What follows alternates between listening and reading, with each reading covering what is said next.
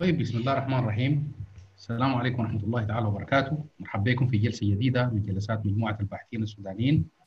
اليوم السبت 18 يوليو 2020 واليوم الموضوع بتاعنا إن شاء الله عن الاقتصاد. آه عنوان الجلسة إجراءات الإصلاح الاقتصادي خلال الفترة الانتقالية العقبات ومقترحات الحلول. تحدث في الجلسة دي الأستاذ سبنا باحث في درجة الدكتوراه في الاقتصاد في جامعة إير... إير... إيراسموس إيراسموس روتردام في هولندا ودكتور حسام حسن عباس إسماعيل اقتصادي قياسي وخبير استراتيجي. الجلسة دي بالتسجيل يعني الناس اللي سجلوا automatically بيصلهم الرابط للدخول لزووم ومبثوثة برضو عبر مجموعة الباحثين السودانيين. في الفيسبوك فأي زول ممكن يحضر هناك. هناخذ المداخلات بتاعت الناس والأسئلة بتاعتهم. يا إما من داخل الزوم هنا يا إما من الناس اللي بيحضروا البث المباشر عبر الفيسبوك. آه فلو في أي سؤال ولا كده الناس هتأجله بعد ما تغطى المحاور بتاعتنا كلها. المحاور المحاور بتاعتنا على الوضع الاقتصادي الراهن آه التحديات اللي فيه وإلى آخره والمدارس الاقتصادية والسياسات بتاعت وزارة المالية وكده. وفي بعد ذاك تقييم عام للأداء الاقتصادي في الشهور اللي فاتت التضخم ورفع الدعم وزياده المرتبات والتبعات بتاعتها التحويلات المباشره وإمكانياتها. مؤتمر المانحين والتاثير الاقتصادي لكوفيد 19 والعقوبات الاقتصادية. دي كلها حنغطيها هنا ده فالناس يعني الحريصين. على انه يعرفوا نحن وين. زي ما كل الناس بنفترض إنهم حريصين. يصبروا شوية ويعني يكونوا زي يقولوا في تركيز عام. فهنبدأ مع دكتور حسام عن التقييم للوضع الاقتصادي العام في البلد. دكتور حسام مرحبا بك. تفضل. شكرا لك دكتور أنور وشكرا لكم لاستضافتنا في منصتكم العريقة ذات السمعة الطيبة. شكرا دكتوره سبنا ودكتوره نعمه الفاتح وكل المستمعين والمشاهدين الأفاضل. أنا حخش طوالي في الموضوع. عشان اوفر الزمن ويكون في زمن أكبر للنقاش والتفاكر ولأنه ال materials دي حتكون متاحة قريب. طيب الوا... الواقع الاقتصادي الراهن الآن في يوليو 2020 آه أنا بلخصه في الآتي. آه عندنا تضخم يبلغ 136 آه فاصل 36% التضخم ده بدأ في ديسمبر اللي هو يلينا الشق اللي بدا بعد تولي حكومتنا الانتقالية للسلطة. آه بدأ ب 57% بحسب ال statistics بتاعت الجهاز المركزي للإحصاء آه في ديسمبر 19 تواصل بمتوسط 15% وزاد 22% في آخر شهر يوليو. اللي هو بعد ما الناس بدأت تطلع من الكورونا من ال partial lockdown أو ال lockdown وبدأت تظهر آثار ال SAP ال structural adjustment program عندنا عجب بتاع موازنة. بيبلغ 1.8 مليار دولار اللي هي ما يعادل 91 تريليون بالقديم بدولار 55 ده دولار الحكومة الآن. الموازنة لغير المتخصصين اللي هو عندنا زي بالانس كده بالانس شيت فيها إيرادات وفيها منصرفات، الإيرادات اللي بتجي في الاقتصاد مجمل النشاط الاقتصادي الموجود بيدنا اليمين بيجيب لنا إيرادات ومجمل المنصرفات اللي بيستهلكها مننا الاقتصاد زي انفاق على التعليم على الصحة على الأمن على الدفاع على البيئة على كده تمام؟ عندنا عجز. منصرفاتنا أكبر من إيراداتنا ودي من أهم النقاط اللي لسه حنتناولها في الحلول بعدين. عندنا عجز في الميزان التجاري 5 مليار دولار بمعنى نحن بنستورد أكثر مما بنصدر ودي مشكلة هيكلية في الاقتصاد السوداني منذ الاستقلال واحتمال من من زمن السنارين يعني. العجز ده كميا مقداره 5 مليار دولار. يعني بنصدر بما يقارب تقريبا تسعة آه بنصدر أربعة أربعة مليار دولار. صادراتنا أربعة مليار دولار ده, ده مبلغ شحيح بالمقارنة باقتصادات عظيمة يعني. وبنستورد بتسعة آه نص شوية كده 10 إلا. عندنا جهد ضريبي 5% جهد ضريبي يعني شو؟ يعني آه قيمة الضرائب المتحصلة بالعملة المحلية مقسومة على الناتج القومي الإجمالي بتساوي 5% 5 على 100 تارجتد إنها تكون 20% عشان تخش في الحلول حنتكلم عنها أو 40% عندنا 80% من كتلتنا النقدية بالقروش بالجنيهات دي بر النظام المصرفي. وده فيه دليل على عدم السوق الثقة في النظام المصرفي عدم الثقة في العملة. آه في قروش مخزنة تم إنه الناس تشتري بها اشترت بها آه سواء كان من آه النظام البائد يعني اشترى بها أصول هربها عبر دولار أو كده. أو المواطن العادي السوداني بيحاول طبعا لما يحس إنه العملة يعني قيمتها انخفضت بموجب التضخم بيحاول يشتري بها دولار أو ذهب أو عقارات أو عربات يحفظ بها قيمته. متوسط دخل الفرد القومي اليومي الفرد اللي هو واحد و8 دولار لليوم. يعني ما زي ال ال ال ال الإحصائية بتاعت ربيع عبد العاطي دي. تمام؟ نحن طبعا معناها 80% من السكان تحت خط الفقر وليس 65% زي ما قالت الإحصاءات. الشوارع بتاعتنا منتهية الكهرباء بتغطي 40% من السكان ربع السكان قاعدين في العاصمة ودي this is urbanism في اقتصاد التنمية دي حاجة ما كويسة ما يدل على إنه الأرياف ما منتجة. أمية بتاعتنا 39% دي آخر statistic رسمية قد تكون أقل شوية لأنه ال statistic دي مبنية على ما قبل فصل الجنوب لكن ما بتفرق كثير يعني. تعليمنا الجامعي منتهي. التلمذة الصناعية بتاعتنا ما فيشة عندنا ثقافة مجتمعية عرقية عندنا غبائن عرقية موروثة. نحن شعب يعني ما بنحافظ على البيئة ثقافتنا الإنتاجية دائرة معالجة. تفاصيل زي الديموغرافية socio-demographic أو socio-political تفاصيل برضه بتخش على على ال بتأثر على الجانب الاقتصادي. عندنا فساد عندنا قطاع مصرفي مسيطر عليه من الانتهازيين والتجار ويعني فلول النظام. عندنا مضاربات في العملة من تجار العملة بدوا يكنزوا يتاجروا في العملة من الثمانينات. التضخم ساعدهم على كده. عندنا اقتصاد عسكر امن جنجويدي حجم العمل بتاعه تقديرا تقديرا ممكن يعني إلى درجة عالية من الدقة. بمعنى الموارد المتاحة تحت يدينهم من أراضي زراعية من معادن من access على البنوك من علاقات وفي ال supply chain تبلغ 170 مليار دولار. ده حجم العمل يا جماعة ده مش الإيرادات ها؟ إيراداتنا السنوية بنقدرها بزي 10 مليار. في تعتيم في تعتيم على الاقتصاد العسكري. لكن يعني ممكن إحنا نتحصل على معلومات دي بشوية انتليجنس عندنا شركات رمادية ما بتدفع الضرائب تكلمت عنها لجنة التفكيك. شركات رمادية بمعنى هي ما معروفة لا مدنية ولا عسكرية أو تكون مثلا جزء مدني 60% مدني 40% عسكري or contrariwise تمام؟ آه عندنا اقتصاد السياسة المؤثرة على الاقتصاد عندنا محاور إقليمية حريصة على إنه تتدخل في اقتصاد السودان وفي سياسته. عندنا مشكلة بتاعت dangerous gold ذهب بيتسرق بتمرر بقنوات ما رسمية شال للاقتصاد. عندنا تعدين لليورانيوم عبر الروس عبر بعض الجهات النظامية تحديدا الدعم السريع. عندنا مشكلة بتاعت مويه كلنا إحنا متابعين مشكلة سد النهضة. عندنا خوف من إنه إحنا نتعامل مع مع العالم الخارجي في أزمتنا الاقتصادية عشان بس نسترضى المعسكر بتاع الصندوق والبنك الدولي ما قادرين نتعامل مع الصينيين ما قادرين نتعامل مع الروس. في كيانات محورية حتى من الدول الشقيقة اللي إحنا بنسميها شقيقة. حريصه على إنه السودان ده يظل في الوضع ده. لأنه إذا مشى قدام السودان ده بلد عملاق هم مصالحهم بتتهدد والميزة الاستراتيجية اللي بيلقوها حتتهدد. عندنا تاريخنا الاقتصادي السوداني أصلا تعبان.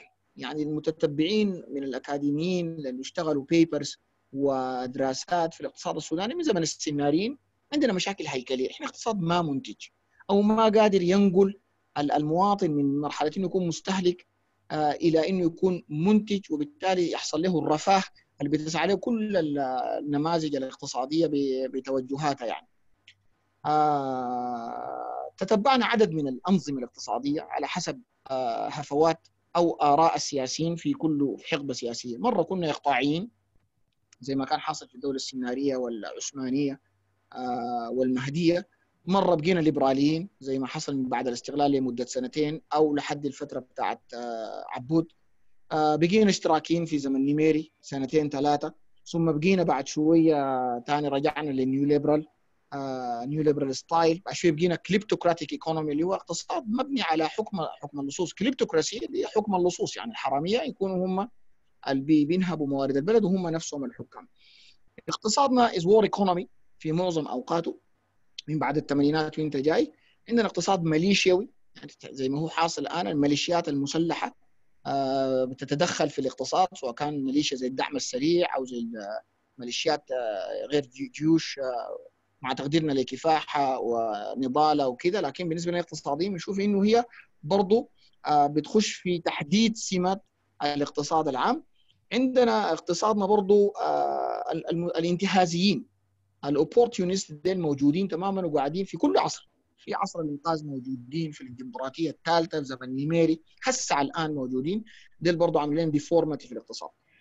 اقتصادنا بيعاني في الربع في النص الأول ده من انكماش ب يعني متوقع إنه لحد ديسمبر ينخفض النمو بسالب 9% ودي دي حاجة خطرة جدا. فده في تقديري ده الواقع الاقتصادي الراهن زي عدد من ال equations يعني لو إحنا خدناه رسمناه كده في في في sphere كده حيكون عدد من المعادلات اللا خطيه وشكلها بكون جايد جدا. لكن ده زي زي شنو؟ ملخص نصي فأعتقد إنه ده زي ملخص ده ملخص للواقع الاقتصادي الراهن مختزل. In reduced form. بنقدر نحن بنظارتنا كده نعاين به للحاصل. نعم. شكرا لكم شكرا جزيلا دكتور حسام. طيب دكتورة سبنا آه سبنا يا ريت تورينا الوضع الاقتصادي الراهن. عامله ام ميوت من عندك تفضلي طيب السلام عليكم ورحمة الله. شكرا جزيلا على إتاحة الفرصة ومرحب بالحضور ومرحب بدكتور حسام ودكتورة نعمة وكل الحضور إن شاء الله. وشكرا لك دكتور أنور دفع الله على إتاحة الفرصة الجميلة دي في المنبر العامر ده يعني. والموضوع طبعا في غاية الأهمية. شكرا دكتور حسام برضو على البريف الممتاز اللي قدمته. أنا يعني بتفق معاه في الوضع الاقتصادي. يعني إحنا ممكن نختصره بإنه نقول إحنا فعلا في حالة بتاع تضخم ركودي خصوصا إنه طبعا آخر الريبورتات ذكرت إنه we will hit 136 وده طبعا نسبة غير مسبوقة للتضخم في السودان يعني unprecedented قبل كده وحاجة مؤسفة بتتزامن مع ركود ناجم عن إنه الاقتصاد أصلا طبعا مما انفصل جنوب السودان ما قدر to recover من من ال shock اللي حصلت وفي نفس الوقت الكوفيد 19 جاء عشان زي ما بيقولوا يعني يعمق الجراح بتاعت الاقتصاد السوداني أكثر وأكثر لكن within الصورة القاتمة دي في برضه كثير من الأمل وفي opportunities. يعني دائما ال problems هي برضه يعني بتخلق فرص. دائما لما أنت تكون في مشكلة ده برضه بتخلق قناة للفرص. إحنا الليلة حنتكلم عن المشاكل وبرضه حنتكلم عن what are the opportunities for Sudanese economy عشان يمرق من من عنق الزجاجة وشنو ال future perspective يعني في ال mid وال long run what can we do which model we prefer to follow يعني أحسن نموذج عشان نحن نخط الاقتصاد السوداني في within سبع سنوات في المكان المفروض يكون فيه اقليميا ودوليا. طبعا إحنا عارفين طبعا إنه أنا حت... هو اتكلم الدكتور عن عن الوضع الراهن. في budget deficit ال budget deficit ده بيعادل 3.5% من الميزانية وده رقم كبير جدا بالنسبة للمؤشرات الاقتصادية. وهو اتكلم طبعا عن برضه مؤشرات يعني إنسانية وكده لكن أصلا الاقتصاد unstable مش بس لأنه ال inflation عالي ولكن لأنه ال inflation نفسه بيزيد وبينقص يعني في fluctuations ال fluctuations دي أو التقلبات هي أمر طبيعي في ال short run لكن unfortunately الاقتصاد السوداني على مدار سنوات طويلة جدا كان مصنف بأنه هو اقتصاد unstable وعنده مشكلة يعني تاريخيا. تقريبا خلينا نقول من منذ حتى وجود الإنجليز. يعني كثير من الناس برضو بيفتكروا إنه الاقتصاد السوداني ده في عهد الإنجليز كان أفضل وكذا لكن هو الاقتصاد السوداني حتى في قبل الفترة بتاعت الإنجليز كان دائما historically بيتسم بال instability وبالضعف بتاع النمو. وده mainly بيرجع لإنه هو اقتصاد primary يعني economy بمعنى إنه هو بينتج منتجات ما sophisticated ما معقدة. غير قابلة لإنها للتداول الدولي وأسعارها متناقصة عالميا. يعني سواء كان القطن أو الصمغ العربي أو البترول مرورا بالبترول إحنا شايفين طبعا تناقص إنه إحنا دخلنا في ال era بتاعت إضمحلال النفط برضه لأنه في النهاية هو primary product ودائما التكنولوجيا بتضغط في اتجاه انها هي تزيح ال captiveness أو أو إنه الأسر للموارد لأنه الموارد بتكون موزعة جغرافيا. Unevenly يعني ما بيكون توزيعها عادل. فده السبب الأساسي. السبب الثاني لأنه الاقتصاد السوداني unstable economy historically لأنه هو برضه في عوامل سياسية.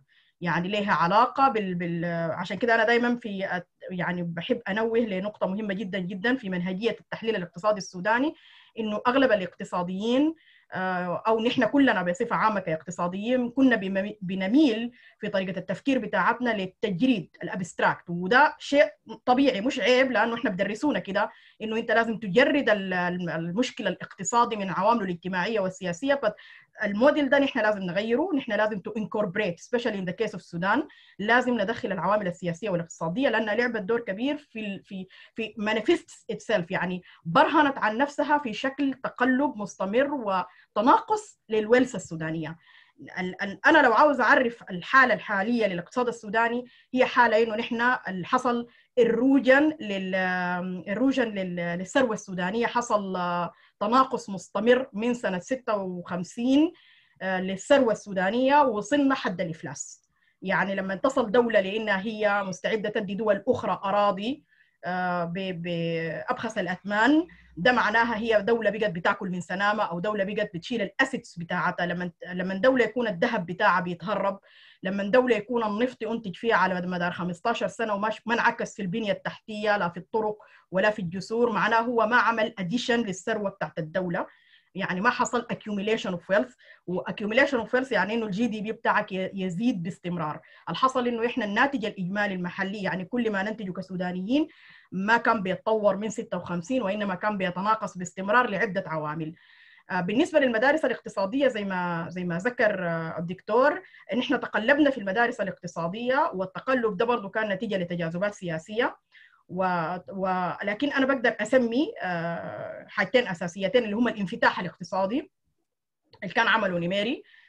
وطبعا برضه لأنه أنت بمجرد ما تمشي to access المنظمات الدولية دي وتطلب دين أو تطلب قرض أو تطلب دعم ايا كان أو منحة حتى ولو هم بيشترطوا عليك إنه أنت لازم تدخل في النظام الدولي تندمج أو بنسميه إحنا اندماج الاقتصاد السوداني في, في الاقتصاد الدولي.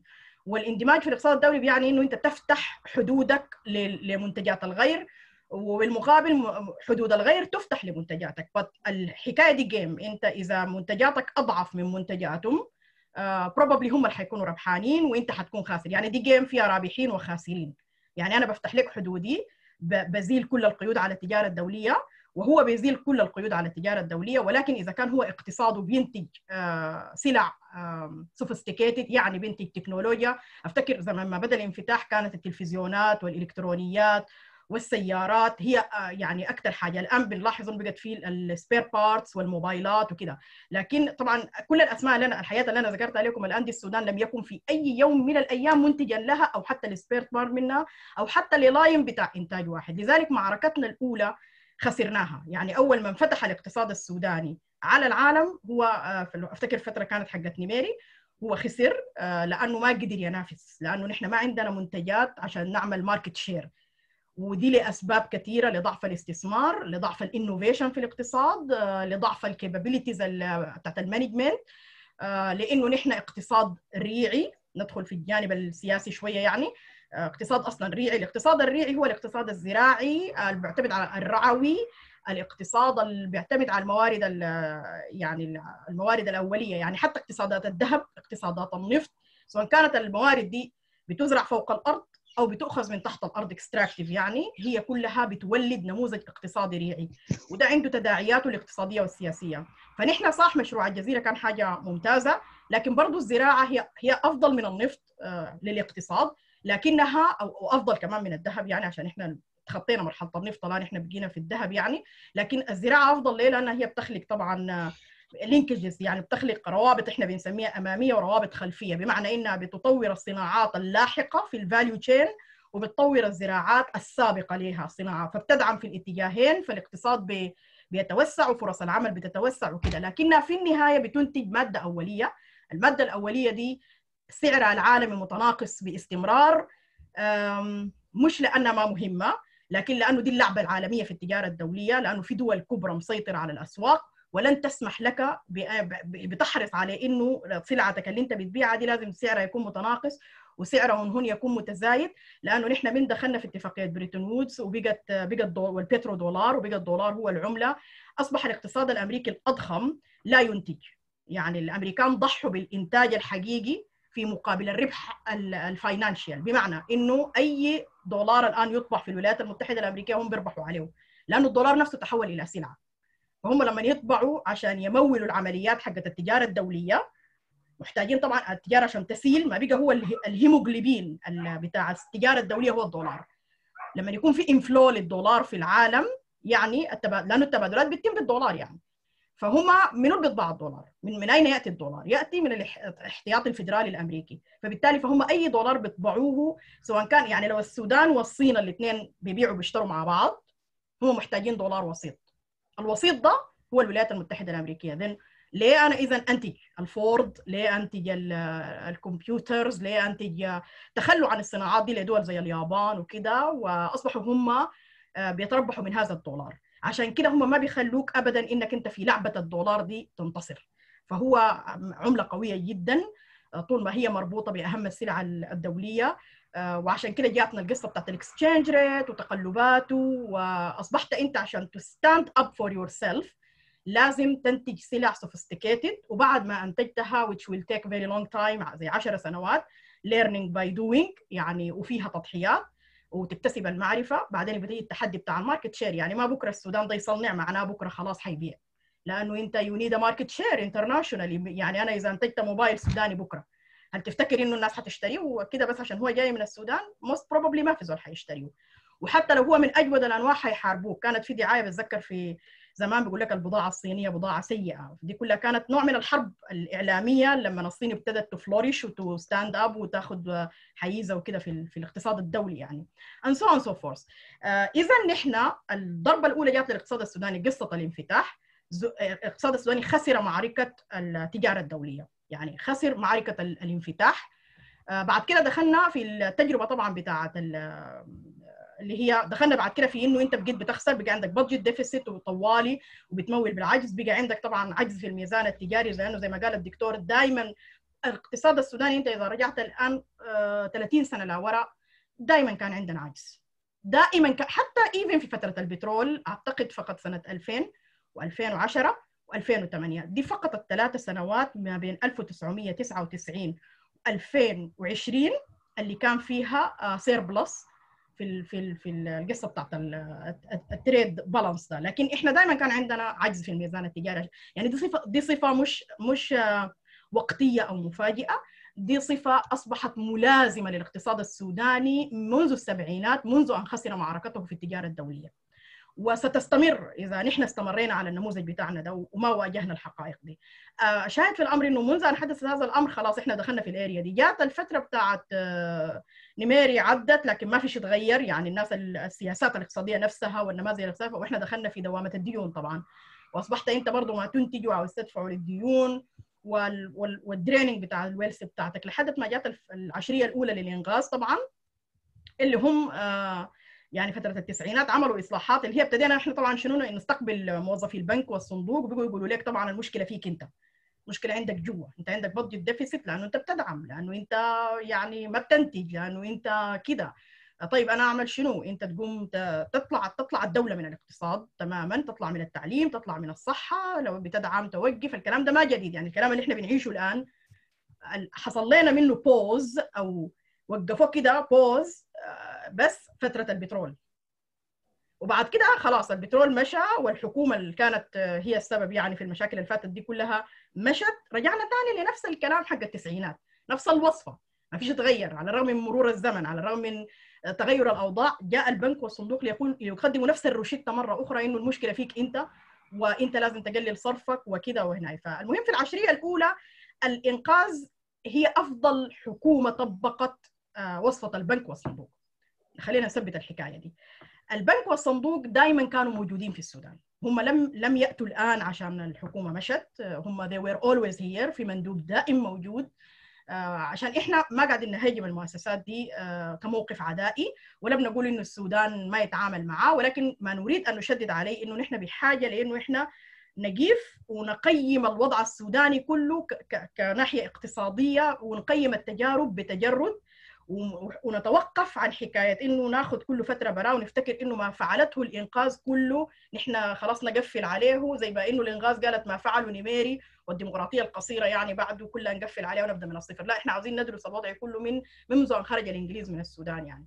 فالمهم شاهد في الأمر إنه البنك كان دائما موجود. الإنقاذ كنظام إسلامي لأنه النظم الإسلامية طبعا يعني ما حتكلم في الفلسفة لكن إحنا بنستمد الفكر الاقتصادي الاسلامي بيستمد يعني وحيه من من مقدمة ابن خلدون. مقدمة ابن خلدون بتعترف بالملكية الفردية وبتعتمد بتعترف بوجود فقراء وأغنياء لأنه نحن في الدين الإسلامي بنعترف بالحاجة دي أصلا. فبالتالي المدارس الإسلامية الاقتصادية هي أقرب من المدارس الشيوعية للرأسمالية. يعني النظام الاقتصادي الإسلامي هو نظام رأسمالي. أو أقرب للنظام الراسمالي مع بعض الاختلافات الطفيفة طبعا المتعلقة بالربا والأمور دي لكن هو في فلسفته وجوهره فعشان كده هم لما جو بحكم فكرهم ال ال الإسلامي ده they emphasized القصة بتاعت خروج الدولة من ال من ال من الاقتصاد، خروج الدولة من الاقتصاد كان عنده أثرين، الأثر الأول إنه الدولة فقدت السيطرة على الاقتصاد نفسه. يعني أصبح الاقتصاد ده كده زي الحاجة المرمية وكل زول ينهش على قدرته. يعني الرأسماليين يعني أنت أنت لما الدولة لما تطلع بتطلع جراديولي بتطلع وبتضع regulations يعني مثلا أنا الليلة ممكن أقول أنا قطاع الكهرباء ده نهائي عاوز أطلع منه كدولة لكن أدي ال regulation power بتاعتي السيادية أديها لجهاز معين. لكن ما بطلع كده. ما ببيع الكهرباء وبطلع. أنا تمام أنا ما لي داعي أنتوا تصطفلوا مع يعني مش بالطريقة اللي أنا بسميها ال vulgar التمت بها عملية خروج الدولة. من الاقتصاد السوداني وبعدين في تداعيات ثانية أنتم عارفين ما موضوعه اللي هي كيف بيعت هذه الأشياء شنو هي المؤسسات اللي كانت خاسرة وكانت ربحانة. المهم إنه الدولة فقدت السيطرة. عشان كده الليلة نحن لما جينا عشان ثاني نعمل ولاية على المال العام اكتشفنا إنه بنك السودان برا الدولة شركات كثيرة تغولت على أدوار الدولة التعليم العالي في نفوذ رهيب للجامعات الخاصة لأنها أصبحت أغنى من الجامعات الحكومية. المدارس الخاصة بقت أقوى من المدارس الحكومية بالتالي نحن سياساتنا التعليمية نفسها لو تلاحظ الآن لو عملنا إحصائية يعني ممكن نكتشف إنه more than 60% of new generations بيدرسوا في مدارس international. بمعنى إنه في الوقت اللي إحنا كنا دايرين الناس ي... طبعا أنت لما تدرس مدرسة international بتدرس international curriculum ما بتدرس منهج الدولة نفسها. بالتالي بالتالي هذا الطفل الذي ينشأ في هذه المدارس هو ما بياخذ الثقافة المحلية هو بيكون global citizen فمعناها شنو؟ معناها أنت العملية التربوية نفسها فقدت السيطرة عليها، فقدت قدرتك على التأثير على المواطنين من خلالها يعني. وهكذا يلا لما نمشي للصحة برضه نفس الشيء بنلاحظ تماما إنه المستشفيات الخاصة تغولت على كل أدوار وتضأض محله المستشفيات العامة وهكذا وادوارها فلما جات الدولة الآن تفتش عن إنه أنا what can I do in the economy? They discovered إنه يعني أي وزير مالية مش دكتور البدوي لوحده حيكتشف إنه هو ما عنده a lot to do. He doesn't have a lot to do. يعني لأنه الأدوات كلها تحولت إلى آخرين. في رأسمالية احتكرت. حتى المواد الاستراتيجية تم توزيعها في شكل احتكارات. وده برج... ليه حصل الكلام ده؟ حصل لأنه إحنا طبقنا النظام الرأسمالي في جسد الدولة الريعي. طبقنا النظام الاقتصادي في جسد الدولة الريعي. الاقتصاد السوداني أصلا اقتصاد ريعي علاقات الإنتاج ريعية. في في ناس اكتسبوا حقوق تاريخية. يعني وأصبح في يعني علاقات قوية. الأحزاب ذاتها بنيت على الحاجة دي. فالعملية الريعية دي جاء عليها نظام بتاع خدمة مدنية عملوه الانجليز حديث لكن ظلت الدولة تحت دي دولة ريعية. جاء عليها نظام بتاع حكم اقتصاد راسمالي لكن الدولة هي تحته لسه تحت ال bottom layer of the country is يعني rental state عشان كده البعد السياسي في المسألة مهم. فال rental state دي ما بتعترف بحق الفرد وإنما تذوب الفرد في الجماعة. الجماعة دي قد تكون حزب الجماعة قد تكون تنظيم إسلامي الجماعة المهم الجماعة المسيطرة. الجماعة المسيطرة أو الجماعات المسيطرة بشكلوا دولة المصالح المتجذرة اللي هم ديل اللي بيتقاسموا اللي هم تنافسوا في مرحلة تاريخية على ريع هذه الدولة وتقاسموه يعني مثلا لما نمسك الأسر أنا ما عاوزة هنا تنيم ناس لكن النخب السودانية بتلاحظ إنهم بيكون عندهم أراضي كثير لما كانت السودان دولة ريعية زراعية بتلاحظ انه الناس دول بيمتلكوا كم هائل من من الأراضي ما بيمتلكها المواطن السوداني العادي. ليه؟ لأنه ده الريع. ما أنت عشان تحكم لازم تكون أنت مسيطر على هذا الريع لأنك أنت الراعي وهم الرعية. يعني أو زي فكرة الإقطاع. أنت الماستر وهم ال peasants الشغالين عندك يعني. ولما جاء النفط حصلت نفس الحكاية لكن ابتدوا كمان يخشوا لاعبين جدد.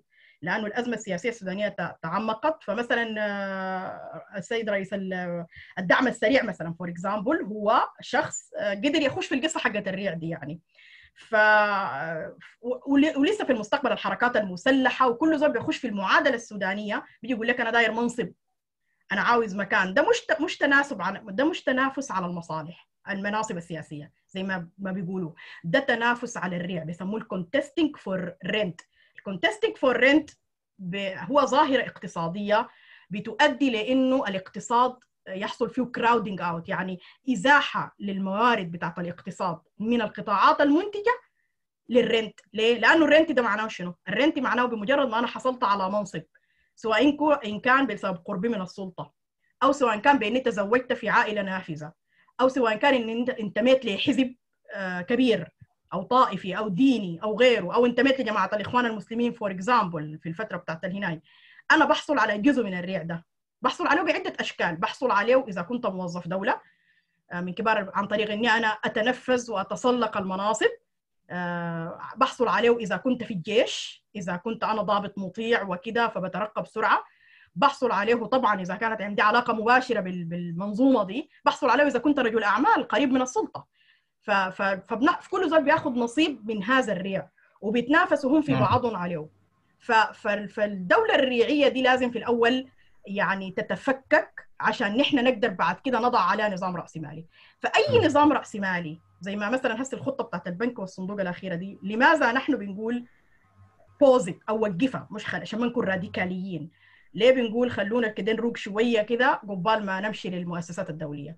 لأنه في structural rigidities في الاقتصاد السوداني. في آه عوائق هيكلية أهم عامل فيها هو القصة بتاعت الدولة الريعية ما لم تحل المسألة دي. الدولة الريعية دي برضه لها طبعا ارتباطات بالقصة برضه بتاعت السلام. طبعا إحنا عارفين إنه ما فيش ما في سلام ما في سلام سلام حقيقي مش سلام اتفاقيات يعني. ما في سلام حقيقي بمعنى سلام يفكك الدولة الريعية. ما ما ما حتنجح أي خطة وما حيبارح الاقتصاد السوداني مكانه. يعني this is bottom line يعني. الانفصال ليس حلا لأنه أنا هسه عندي ورقة وبكتب فيها إن شاء الله when it is published ممكن الواحد تشير أنا تتبعت الدولتين يعني تتبعت جنوب السودان مع شمال السودان عشان أشوف آه كل دولة بعد عشر سنين من الانفصال مشت على وين. آه I have discovered إنه الدولة الوليدة أخذت معاها عيوب الدولة الأم. أو جينات نعم. الدولة الأم فالمستقبل بتاع دولة جنوب السودان آه شبيه حيكون بمستقبل السودان الشر أخي. آه، الشر برا وبعيد إن شاء الله يكون عندنا اخواننا في جنوب السودان يفلتوا طيب حنمشي في حنمشي في في المحور الثاني اللي هو. آه، التقييم شنو المنهج منهجيه الاقتصاد الانتقالي يعني إحنا الناس كلها استبشرت حرية سلام وعدالة والناس آه، ضحت بدماء الشهداء الشباب وكل الناس مؤملين في حاجة كبيرة. منهجيه الاقتصاد الانتقالي في اول من خمسة ل... في أول 10 شهور دكتور حسام لو عندك تبدا لنا بال- بالحتة دي تقييم جدا. المنهجية. أوكي. تفضل. طيب جدا. هو يعني ال- المنهجية بتاعت الاقتصاد الانتقالي آه اتبنت على تصور الحكومة الانتقالية للفرص المتاحة آه والتحديات الموجودة. آه نحن شعب عندنا موارد عايشين في رقعة جغرافية فيها موارد كفيلة بأنها تجعل السودان دولة عظيمة. عندنا stockات ضخمة من المعادن ممكن ما تخلص لحد ما الحياة دي تنتهي على هذا الكوكب.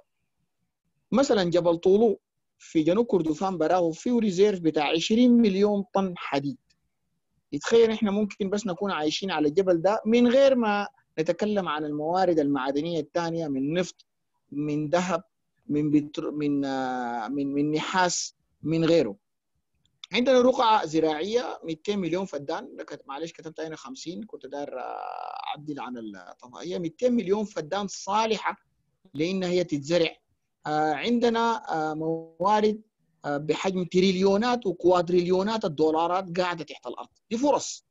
عندنا شعب ذكي ال IQ بتاعه يعني معدل ذكائه عالي بالمقارنة مع شعوب كثيرة جدا. عندنا شعب شاب ممكن آه، يعني ال labour force قوتنا العاملة تكون كبيرة. آه الشخصية السودانية شخصية لطيفة ما شخصية خطرة ولا نكدية ولا حادة. يعني آه بحيث إنها مثلا تتقارن بكثير من الشخصيات العنيفة في, في الأرض يعني. دي, دي دي فرص. عندنا تحديات لكن برضو عندنا جانب فاضي من الكون مفترض إحنا برضو نكون صريحين فيه ونحن شعب عرقي.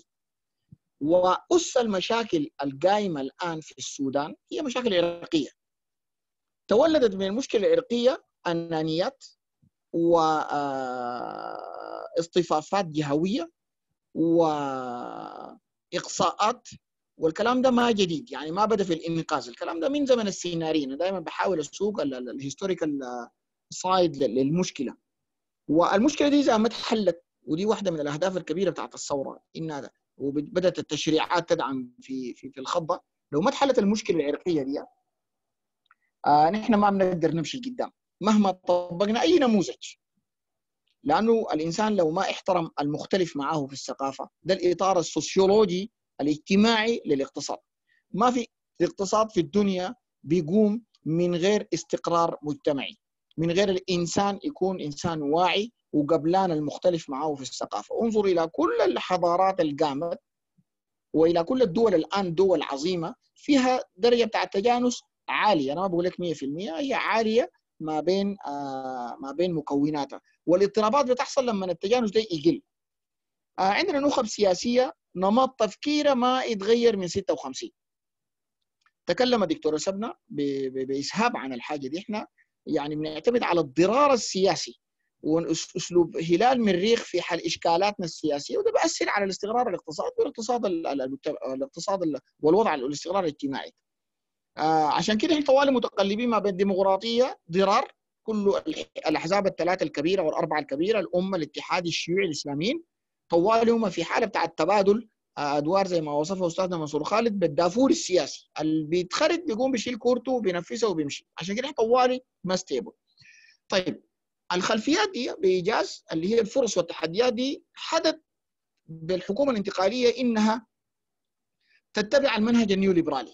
ده على حسب وجهة نظرها ووصف الدكتوره سبنة تماما المنهج النيوليبرالي بيودينا وين؟ بتجارب سابقة. في السودان. وزي ما حنيجي نشوف في في معرض ونستنا دي في العالم عمل شنو. المنهج النيوليبرالي بيؤمن ب one size fits all. بمعنى مقاس واحد روشيتا واحدة اتصرفت لماليزيا للبرازيل لكوريا لبنما لغ... بتنفع في السودان وفي مصر وفي الصومال وفي مقديشو. وبيؤمنوا بالمعيرة مقابل الأمثلية يعني هم بيحاولوا ينظموك في القميص بتاعهم والقماش بتاعهم ده. انت تقوم بطريقتك بقدرة قادر تخش في المقاس بتاعه. عشان كده دائما بتحصل اضطرابات. ما بيؤمنوا بالأمثلية أو ال optimization زي ما بنسميه في الاقتصاد الرياضي. في طريقتين يا دكتور أنور والساده المشاهدين بيتحلبون العالم الحديث بعد 45 بعد ديفيديموس إما الطريقة بتاعت ما يسمى باجماع واشنطن ده تطوير للمدرسة النيوليبرالية حصل في في في الثمانينات أو الطريقة بتاعت إجماع بكين دي حصلت في السبعينات. زي إجماع آه اتفاق على اقتصادي على تكوين نماذج محددة بتعاون بتخلي الاقتصاد ده يقوم. آه النيوليبرالية اللي هو المنهج المتبع من قبل حكومتنا الانتقالية آه بدأ يشتغل. حقيقة طبعا ما حريص أخش في تعريفات طويلة أنا مفتكر كل المستمعين بيكون مروا عنها لكن ممكن إحنا نجاوب عليها في الأسئلة بعد الويبينار. زي ما قال الدكتوره سبنا عنده مواصفات عنده معايير انت لو ما اتبعتها بتقديرهم هم انت ما بتكون eligible قابل أو مستحق إنك انت تتلقى الدعومات اللي هم بيدوها لك عشان تحصل نقلة نوعية في في في في اقتصادك. طبعا صندوق النقد مع منظمة التجارة الدولية مع البنك الدولي دي كلها منظمات بتشتغل مع بعض بالتكاتف shouldering each other آه عشان يمرروا philosophy يعني في الاقتصاد يا جماعة عنده فلسفة. ودي الإشكال إحنا بنحاول نقابله دائما إنه اللي بيحصل ده ما بيحصل ساكت كده. ما بيحصل لوجه الله يعني أو إنسانيات. أي نموذج اقتصادي وراه في فلسفة بتاعت اقتصاد. إحنا في في جامعات يندر ما تلقى إنه الناس يدرسون فلسفة الاقتصاد. ممكن يمروا لنا بسريع بسرعة كده. ده بيعمل كده المنهج ده بيعمل كده والمنهج ده بيعمل كده. لكن وراه في شنو؟ أنا داير أمشي لشنو؟ داير أستهدف شنو؟ قيمي الثقافية والاجتماعية والسياسية داير امرر عبر المنهج الاقتصادي ده إلا زول يمشي يطلع فيها براه ويشوف الحاصل شنو. فلسفة المدرسة النيوليبرالية إنه الدول اللي بتطبق النموذج بتاع بتاع ده تكون قاعدة في الفلك بتاع المعسكر بتاع الغرب الولايات المتحدة الأمريكية تحديدا. وده ده ستايل أظرف من الاستعمار العسكري اللي انتهى في الخمسينات والستينات. لأنه ذاك مكلف. ومهلك ذات للدول دي اتعابها فأنت بتقوم تستبدله بالاستعمار بالاستعمار الاقتصادي. والكلام ده ما مبرئين منه بالمناسبة المدرسة اليسارية. عشان ما يقوموا اليساريين يفرحوا ويقولوا لا خلاص دي أنتوا تكلمتوا لنا عن الأمريكان وسبتوا. لا كل الفلسفات دي وراها في تبعيات. طيب مباشرة في الموضوع الحرية والتغيير الحاضن السياسي طرحت برنامج اقتصادي من سبتمبر 19 بعد ما تكونت الحكومة. البرنامج الاقتصادي ده أجمع إلى أقرب إلى ما يسمى بإجماع بكين بيجين كونسنسس يعني شنو إجماع بكين؟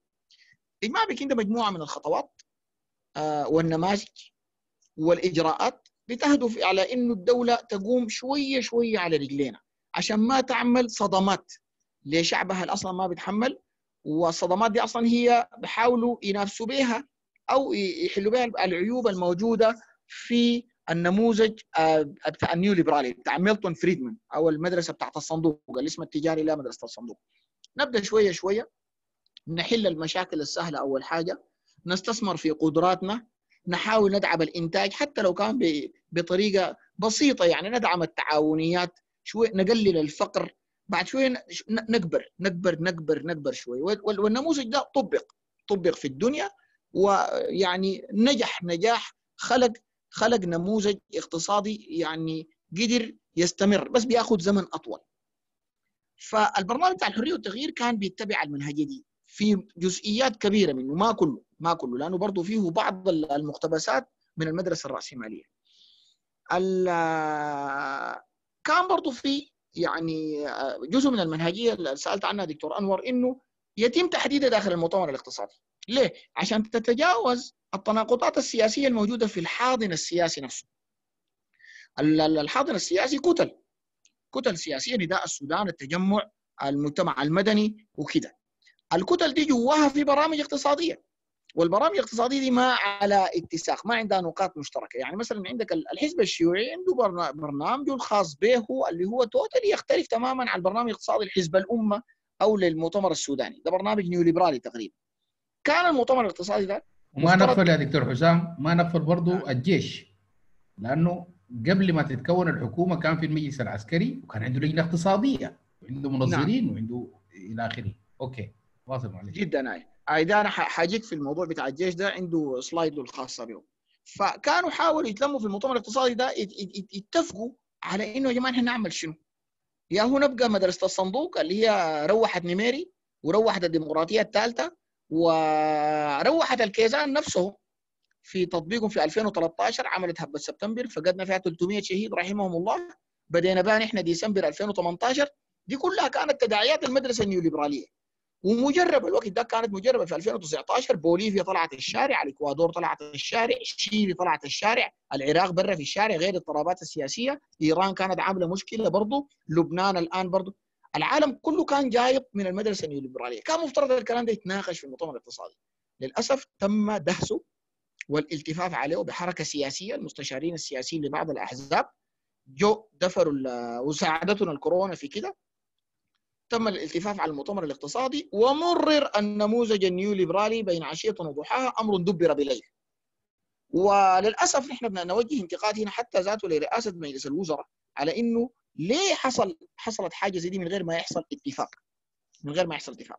تم آه الاتفاق على مؤتمر المانحين آه أصدقاء السودان في باريس كلنا حضرناه وقباله كان في إجراءات وفي شغل بروبر عمل يعني عمله السيد وزير المالية الأسبق الهمام وطلبوا متطلبات تكلمت عنها دكتورة سبنا لازم ترفعوا الدعم عن الح... إحنا ما ممكن نديكم قروش أنتوا تدعموا لنا البنزين والغاز والعيش.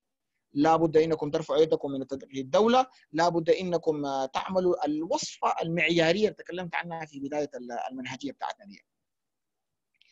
ال ال في في حاجة برضو خطرة جدا حصلت.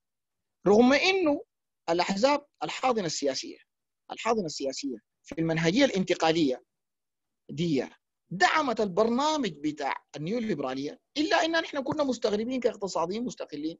ليه كانت انتقدته في 2012 و 2013 أنا قبل فتره كان رفعت في في الحائط بتاعي صفحة صورة كان فيها آه رئيس المؤتمر السوداني الوقت ذاك آه السيد إبراهيم الشيخ معه الصادق المهدي عن حزب الأمة معه آه صديق يوسف معه الترابي الوقت ذاك كلهم كانوا ضد رفع الدعم فجأة الكتل دي ذاتها باستثناء الشيوعي واللي عنده موقف وباعتبار برنامجه السياسي قالوا نحن مع الدعم مع رفع الدعم. كانوا ضد رفع الدعم بيقوا مع مع رفع الدعم. مالكم يا جماعة قالوا والله زمان كان الدعم بيمشي للكيزان والفساد لكن هسه إحنا متأكدين تماما على إنه رفع الدعم حيمشي للتنمية. ده موضوع حنرد عليه لاحقا. أنا داير أكون محدد في الأسئلة بتاعتكم اللي هي منهجية الاقتصاد الانتقالي. آه دي باختصار النيو ليبراليه الاقتصاد الانتقالي. الانتقالي قرر على إنه يمشي تجاه النيو ليبراليه وداير أقول حاجة للسادة المشاهدين والسيدات المشاهدات. في كل فترة انتقالية من 64 نحن بيجينا وزير مالية جاي من مؤسسات بريتن وودز. سنة 64 في الفترة الانتقالية جانا مرغني حمزة كان جاي من مؤسسات بريتن وودز وكان ينتمي إلى حزب سياسي محدد. سنة 85 في الفترة الانتقالية جانا بشير عمر حسب ما أذكر برضو كان جاي من بريتن وودز وتم إقالته بسبب الضغط بتاع النقابات الوقت ذاك. وجاء بعده عوض عبد المجيد برضو جاي من مؤسسة بريتن وودز وأظنه كان جاي من البنك الدولي وبرضه كان بيتبع لنفس الحزب. 2019 جانا في الفترة الانتقالية وزير مالية من مؤسسات بريتن وودز جاي من البنك الدولي وبرضه بيتبع لنفس الحزب. أنا أعتقد إنه ده pattern ده نمط. مفترض نحن نجيب فيه لماذا وزراء ماليتنا في الفترات الانتقالية جايين من حزب الأمة. من حزب الأمة ومن بريتن وودز وده كلام مصداق لما ذكرته الدكتورة سبنة. يعني ما هو لازم أنت يعني النيوليبراليين ما بخلوك. ما بخلوك إنك أنت يعني دائما عندهم الدعم لوزراء مالية في الفترات الانتقالية. ليه؟ لأنه بعدها أنت في الفترة الديمقراطية أصلا حتكون جاري couple couples وأسلاك من الاقتصاد بتاع الفترة الانتقالية والغريب إنه الفترات الانتقالية كلها ما استقرت وكلها أورثت الديمقراطيات اقتصاد مريض ونحن لسه مصرين كل سنة نقع فينا كل فترة انتقالية وربنا يجعلها دي آخر فترة انتقالية في الحياة لحد ما الحياة تنتهي على هذا الكوكب بالنسبة للسودان. فدي باختصار دي المنهجية ان إحنا دايرين نتبعها وللأسف المؤتمر الاقتصادي نتمنى إحنا ضاغطين ضاغطين على انه المؤتمر الاقتصادي ده لازم يقوم. لما تقول نحن يا دكتور بتكون قاصد منه نحن أنا بتكلم عن ما أسميهم بالمقاومة الاقتصادية أو الاقتصاديين المستقلين اللي هي منه هم مجموعة من الاقتصاديين اللي بيكونوا حريصين على تقديم نموذج اقتصادي سوداني مستقل. لا هو اقتصاد نيوليبرالي أو لا هم نيوليبراليين أو اقتصاديين ماركسيين. دارين إحنا نشتغل مع بعض كلنا نكون حريصين على إنه نقدم اقتصاد نموذج اقتصادي بيشبهنا نحن بنقدر نعبر به من الانتقالية أول حاجة نثبت الكارثة الاقتصادية التشوه الاقتصادي الموجود في الانتقالية ونورث للديمقراطية الرابعة اقتصاد صحي. فيهم في فرصة لأنه الكلام ده يتلحق. بالتأكيد أي شيء بيتلحق يا دكتور نور أي شيء بيتلحق إذا نحن اتفقنا وتجاوزنا الأدواء بتاعتنا دي. فباختصار إجابة على سؤالك الاقتصاد الانتقالي حتى الليلة حتى الليلة هو اقتصاد نيو ليبرالي شكرا لك. جزيلا. طيب نمشي نحن للجزء الثاني. الاقتصاديين اللي هم اللي عرضوا سياسه وزير وزارة المالية اللي هو اللي غطاه دكتور حسام. سبنا لو عندك أي يعني follow up في الحتة دي؟ تفضلي. عامله mute تفضلي. أيوه. آه أيوه صحيح. أنا سجلت بعض النقاط من كلام دكتور حسام عشان أتخذها يعني مبدئيا كده. يعني أول حاجة هو اتكلم اتكلم عن نقطة مهمة جدا اللي هي المعيارية. آه ودي نحن في كتب الاقتصاد دائما بنسميها ال generalization. يعني هم بيقوموا يخطوا model وال model ده طبعا هو موديل رياضي وبيصلوا فيه لنتائج اللي هي طبعا دائما النماذج الاقتصادية الكلية بتوريك إنه كيف تظبط ال inflation وال unemployment وال وال GDP يعني يكون عندك نموذج كده يوصلك في النهاية لزيادة في ال GDP وانخفاض في معدلات البطالة وانخفاض في معدلات التضخم لأنه دي المؤشرات الاقتصادية المهمة اللي هم برضه بيعايروا بها الأداء الاقتصادي لأي دولة يعني. وحتى البرامج بالمناسبة الانتخابية في كل الدول الأوروبية والولايات المتحدة الأمريكية بتقيم على الأساس ده. انها حتزيد لل GDP كم؟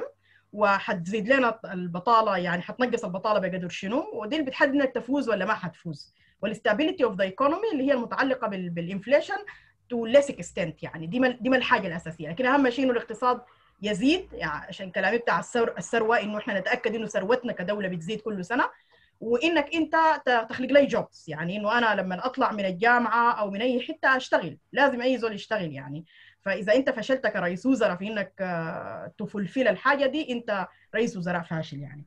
أو أو حتى في الانتخابات ما ممكن تفوز. الحاجة اللي جابت لنا الفكرة بتاعت ال generalization دي. ودي من عيوب النماذج الاقتصادية كلها. إنها بتفترض إنه ما ينطبق على النموذج ينطبق على كل شيء. وما هو صحيح؟ طبعا أنت لما بتدرس النموذج بتدرسه في حالة دولة معينة. ويقوم الاقتصاديين يفترضوا إنه النموذج ده طالما هو نجح مثلا في في الاقتصاد الأمريكي أو التشيلي أو الأرجنتيني أو البرازيلي we can generalize ال theory دي زي مثلا النظرية العامة لل بتاعت جون Maynard كينز يعني هي طبقت في مرحلة ما استجابة لمشكلة ما في الاقتصاد الأمريكي. والآن أصبحت تدرس في الجامعات على أساس إنها هي تصلح لكل مكان وزمان يعني. بفهم بتاع ال generalization ده اللي هو ذاته من من من الأشياء اللي إحنا في فلسفة الاقتصاد بننتقد فيها النماذج الاقتصادية. حتى لما ندرس الاقتصاد وندرس المدرسة والنموذج بننوه في عيوب النظرية إنها هي generalized الحاجة فعشان كده هم بيعملوا لنا القميص بتاع البنك الدولي. فهم ذاتهم نفسهم معذورين يعني. هم ذاتهم ناس البنك الدولي والصندوق كاقتصاديين هم نفسهم ما ما ما الجهه اللي بتطور النماذج، نحن ما حصل لنا تطور كثير في النظرية الاقتصادية من فترة طويلة جدا يعني. وبالتالي هم this is what they have. فالمؤسسات دي تحولت over time مما تكونت اتحولت لمجموعة من الموظفين المستفيدين الذين يوصفون هذه الوصفة لكل اقتصاد زي ما هو قال. وما عندهم breakthroughs فأنا الآن أنا مش ضد البنك والصندوق ولكن بقول إنه نحن كدول نامية أو نحن المصنفين أو المعنيين بهذه البرامج كاقتصاديين it is high time for us إنه نحن to, to feedback يعني بعد سنوات طويلة من التدريب تحت البنك والصندوق بعد سنوات طويلة من من تجربة إنه إحنا كنا يعني ما أقدر أقول كلمة فئران تجارب لكن داير أقول الناس اللي جربوا فينا الحاجات دي. بتمنى انه إنه نحن الآن اكتسبنا الخبرة الكافية في إنه نحن نقوم نكتب كمان نرد ما عارفة أقول كيف لكن نرد يكون عندنا مجموعة بحثية أو شغل بحثي لتقييم أداء هذه المؤسسة. و to feed back يعني ندخل نحن في negotiations مع ناس البنك والصندوق والمؤسسات الدولية كلها إنه نحن بنفتكر إنه برامجكم دي نجحت في الجوانب دي وفشلت في دي وبنفتكر إنه سبب الفشل كده. دي بتدينا نحن أول حاجة contribution for knowledge. كويس بتد... وبتساعد بتساعدهم هم ذاتهم because I feel pity for them. يعني أنا برضو بشعر أحيانا بالأسى لأنهم هم اصبح أصبحت هي مؤسسات بتاعت موظفين. نفس الشيء بينطبق الآن على الاتحاد الأوروبي. كثيرين ما بيكونوا عارفين إنه ليه دكتور سبنا عن الحته بالذات دار أمسكها. إذا كان أنا كنت موظف جاي من البنك الدولي وأجيت راجع بقيت وزير مالية ولا وكيل مالية ولا كده ولا بتاع. فأنا الرول موديل بتاعي الحته الكبيره شايفها زي عندك مثلا جامعه الخرطوم زول أيوه. بروفيسور جامعه الخرطوم ده خلاص الطلاب اللي بيتخرجوا من بعده حتى لو جاء واحد ثاني بقى في مؤسسة أعلى منه لسه بعاير لدكتور ده باجبار وكده حاجة موجودة في ال culture السودانية طبعا الحوار والم... والشيخ والى آخره. صحيح. هل عندنا إحنا professionals بتوع الاقتصاد. سواء كان مروا بال... بال... بالمؤسسات دي البنك الدولي صندوق النقد الصناديق العربية ولا بتاع.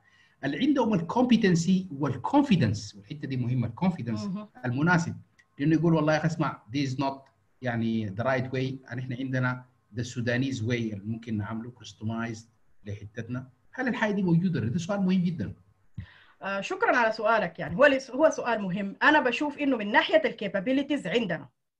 يعني أنا أنا كل الاقتصاديين السودانيين يعني اتطوروا نفسهم في الجامعات السودانية الموجودين locally والاقتصاديين اللي بيشتغلوا abroad سواء كان في مؤسسات أكاديمية أو في الصندوق والبنكي نفسه هم عندهم ال capabilities ال knowledge والمعرفة كافية والتجربة إنهم ينقضوا تجربة التفكير.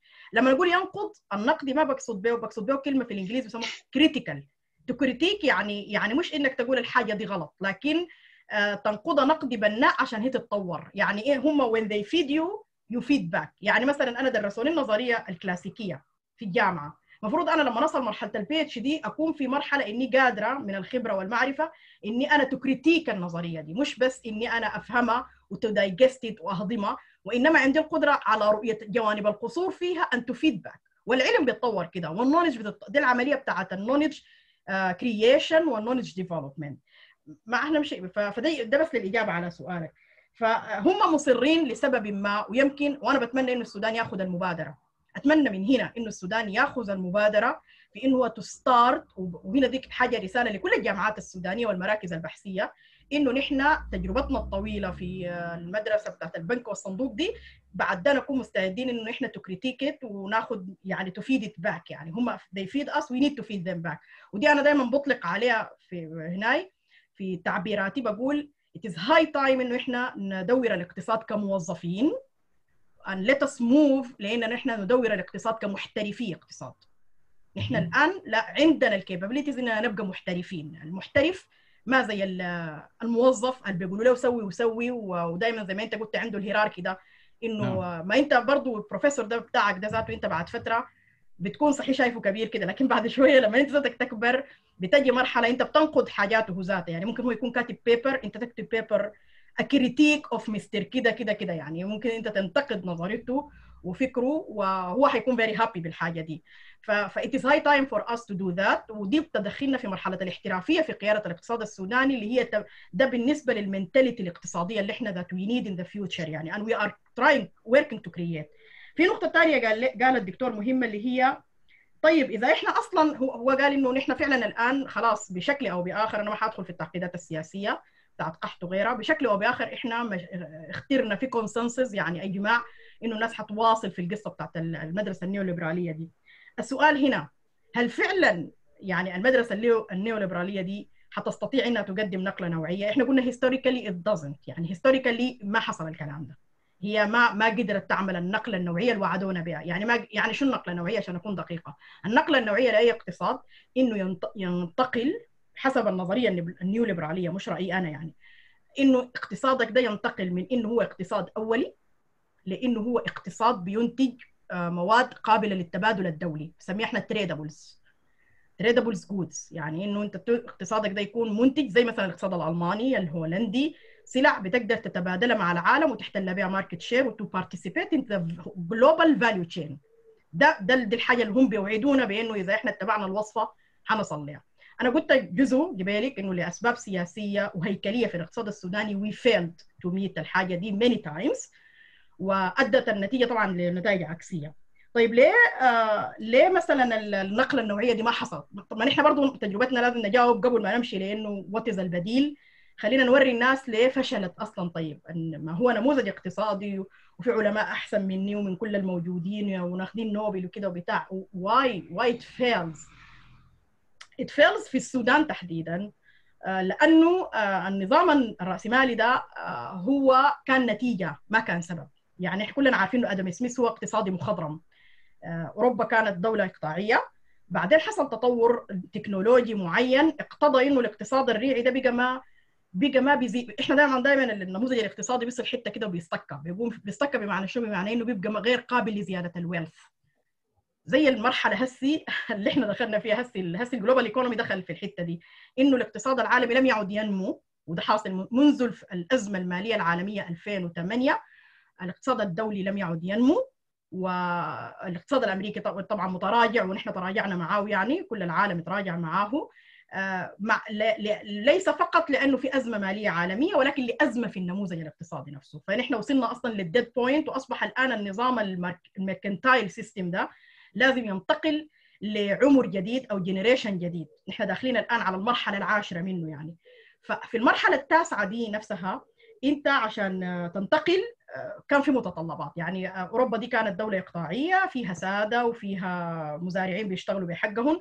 بعد شوية دخلت اله واقتضى إنه الإنتاج يزيد وكده فجاءت الفكرة الانديفيدواليزم ده إنه حرية الفرد ومساله بتاعت الفريدم والمسألة بتاعت الاعتراف بحقوق الأفراد والكلام ليه؟ لأنه الفلسفة بتاعت آدم سميث ذكر الدكتور إنه إحنا بندرس فلسفة الاقتصاد ودي حاجة مهمة جدا الفلسفة بتاعت آدم سميث بتقول إنه لأنه هو آدم سميث كتابه هو مين شنو السؤال الأساسي في آدم سميث تساؤلات حول أسباب ثروة الأمم.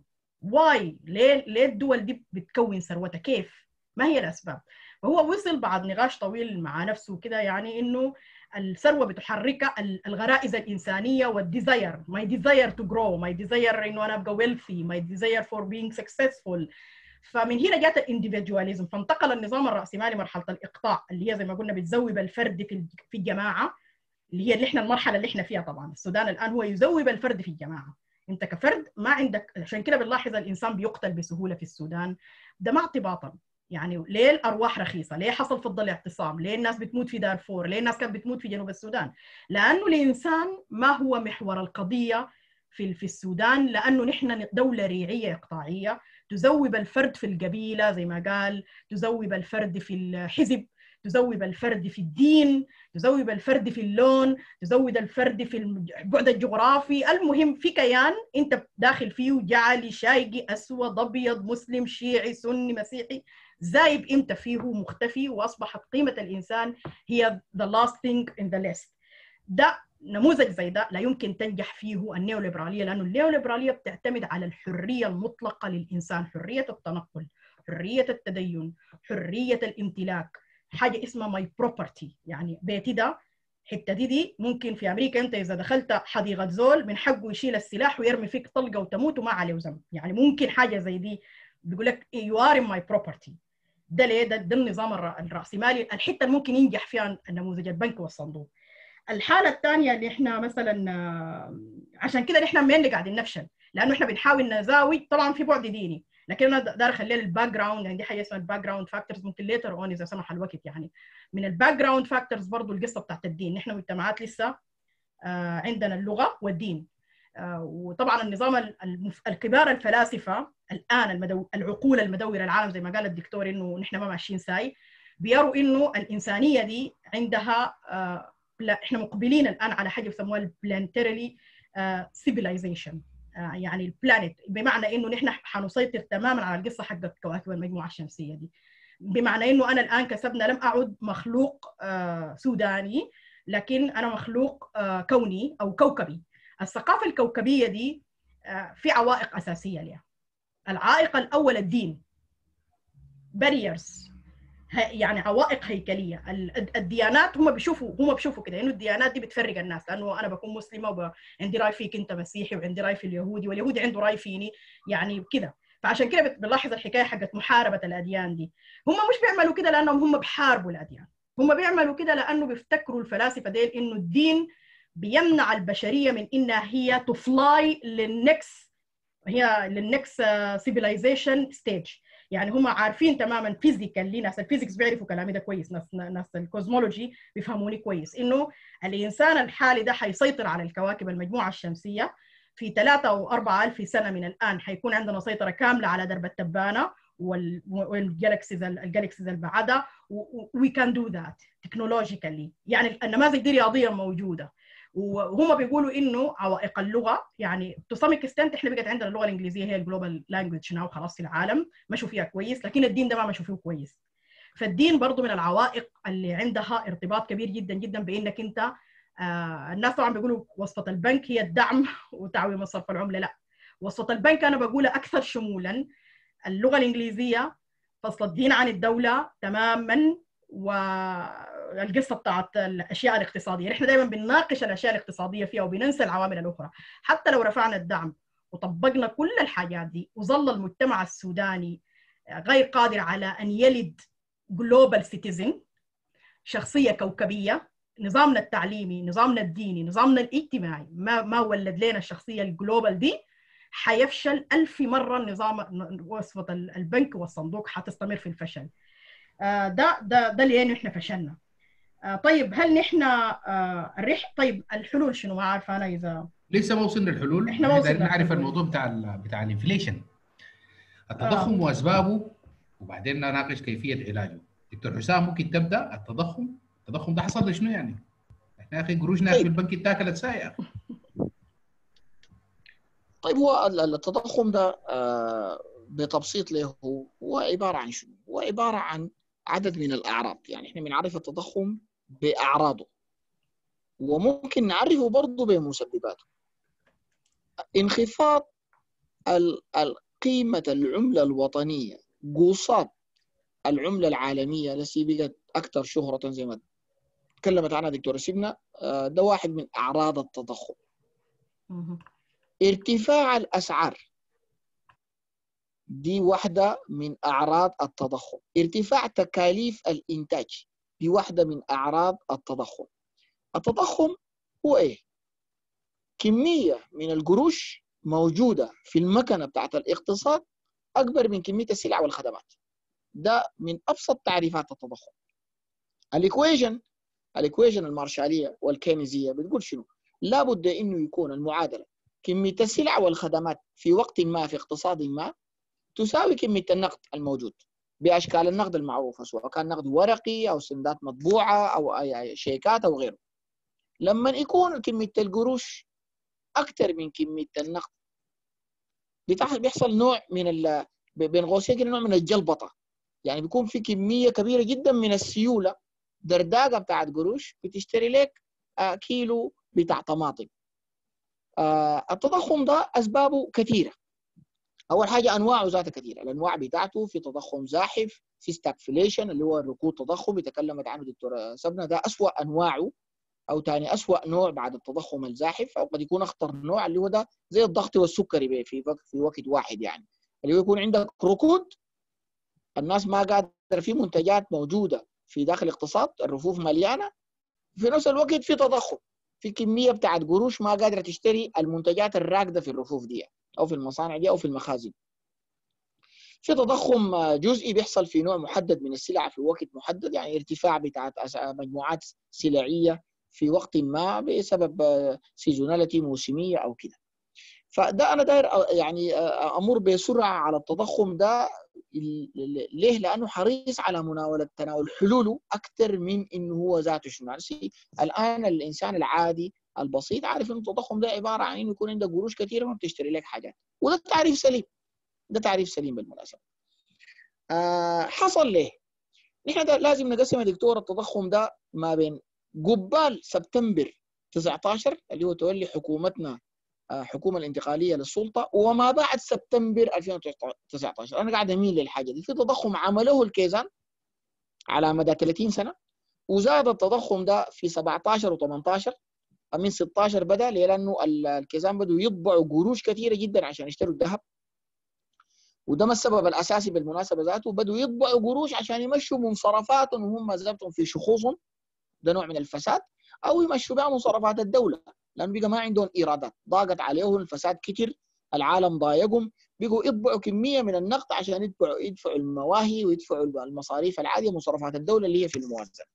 وفي تضخم نتج من 2019 شهر سبتمبر آه، تحديدا بدا يعني يصعد ويطير في يناير لما بدأ آه، وزير المالية الأسبق الله يتراو بالخير في تطبيق صريح لسياسات آه، للسياسات ال- النيوليبرالية لسياسات الصندوق.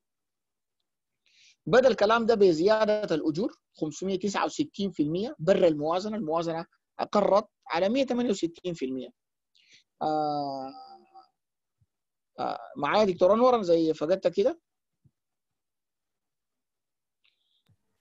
آه معلش يا دكتور ال- ال slide ياتا آه ال slide دي هي ما موجودة الآن لأنه أنت سألتني عن حاجة برا ال slide دي. أنا أنا أصلا حريص على إنه أتكلم آه بعد ما أجاوب على سؤالك حاقول نحن ليه عارضنا؟ نحن اللي هي المقاومة نعم، الاقتصادية نعم. واللجنه الاقتصادية أو كده. أيوة. لكن خلينا أمر بسرعة على على سؤالك. أنا حريص أجاوب على سؤالك يعني. نعم. فالأسباب اللي حصلت من سبتمبر 19 وصعدت في يناير 20 اللي هي التبشير بالدعم النقدي والتبشير بزيادة الأجور 569%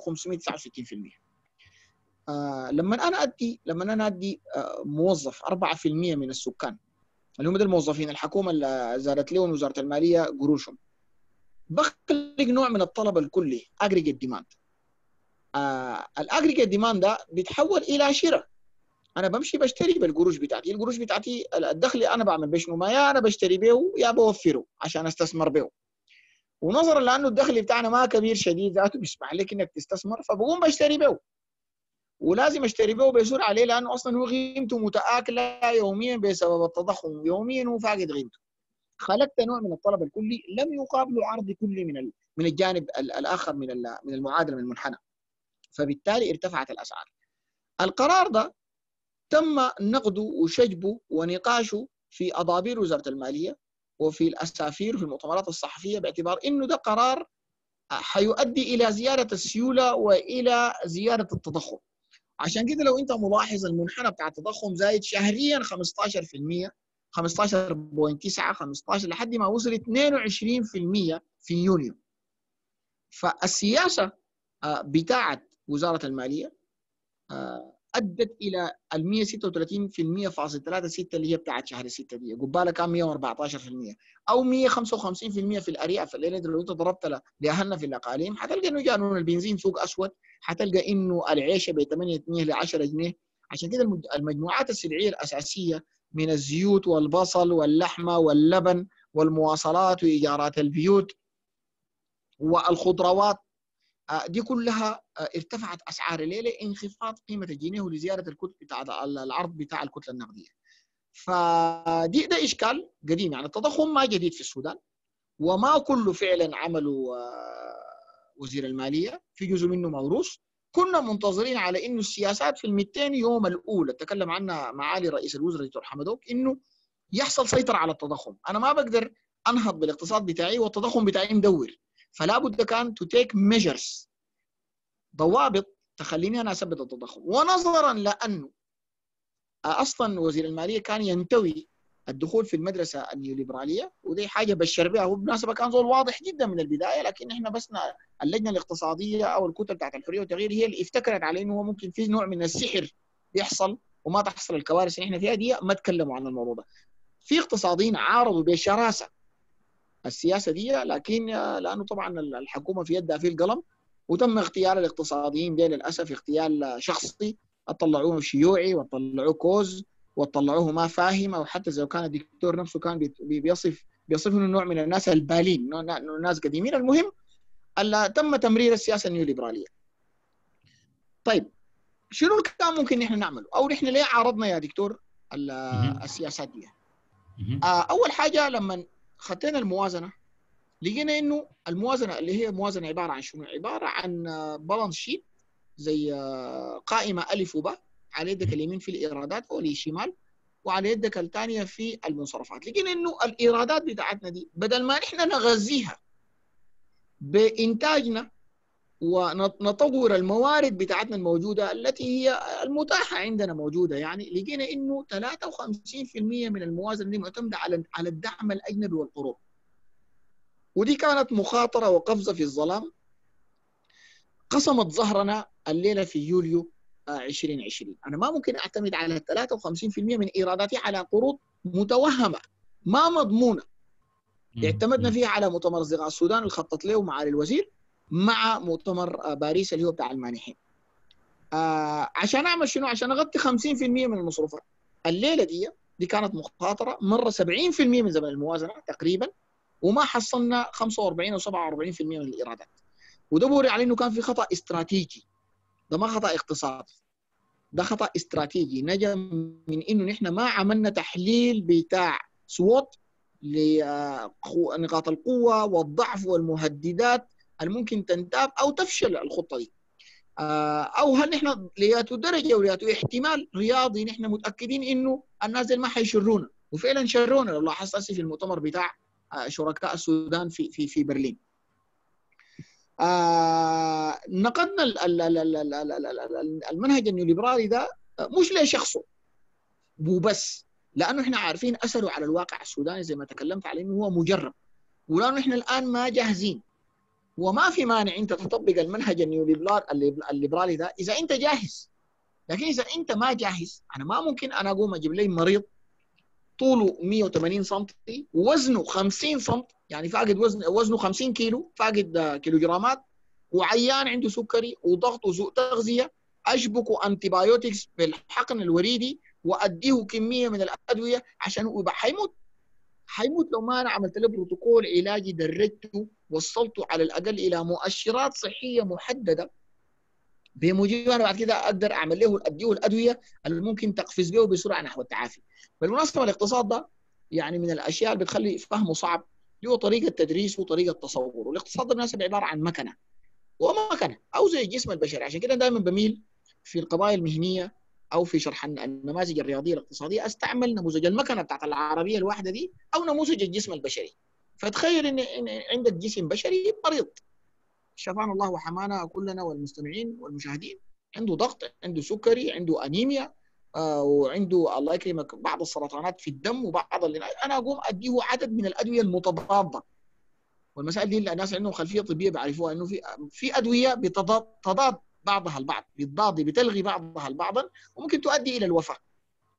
فبالتالي ده طرحوه الاقتصاديين المستقلين سواء كان من اللجنة بتاعت الحرية والتغيير اللجنة الاقتصادية الحرية والتغيير أو سواء كان من الاقتصاديين خارج المنظومة المستقلة دي اللي هو الواحد بيتشرف بانه بيشتغل معه المقاومة الاقتصادية أو أكاديميين أو حتى اقتصاديين عندهم تجارب في البنك والصندوق مثلا زي الدكتور التجاني الطيب اللي هو كان خبير اقتصادي سابق وكان وزير الدولة بوزارة المالية ومن نفس الحزب بتاع بتاع معالي وزير البدوي. كل الناس دي تضافر عليهم قالوا يا دكتور الكلام ده إحنا ما جاهزين له let's let's be gradual ندرج الموضوع ده شوية. لكن حصل حدث ما حدث زي ما قال الكباشي. فالإجراءات التوضيبات اللي بتسبق تطبيق المدرسة دي على إذا ونحن مختلفين معها لكن حتى لو إحنا دارين نطبقها أنا أفتكر تطبيقها ذاته حصل بصورة ما سليمة. عندنا مشكلة مهمة جدا إنه جانب الإيراد بتاعنا الآن مسيطر عليه الشركات بتاعت القوات المسلحة بما فيها شركات الجنجويده والدعم السريع والأمن والقوات المسلحة ودي أهم نقطة أنا داير أتكلم فيها الآن لأنه الدولة العميقه ذاتها ولا شنو؟ ده دي وراثة للدولة القديمة ما هو لما جاء المجلس العسكري الانتقالي عمل شنو؟ هو ما ورث التنظيم الكيزاني في اقتصاده ونحن محتاجين للإيرادات دي الآن والإيرادات دي الآن دي المعركة التي فشل دكتور إبراهيم البدوي والآن بيفشل فيها دكتور حمدوك والكابينة بتاعته في إنه يخوضوها بصراحة. نحن إذا ما ضبطنا الجانب بتاع الإيرادات وكنا واضحين وصريحين وواصلنا الثورة بنفس زخمها. طبعا ما ماشي نحرق لساتك ونخط متاريس نحن في السيادي أو في في مجلس الوزراء أو في وزارة المالية. لكن في طرق محددة بتاع ضغط وتفاوض ودي ما قدرات بتاعت اقتصاديين دي قدرات شخصية ثانية عشان أنا أقنع المنظومة دي على انها هي ترفل لي الجانب بتاع الإيرادات.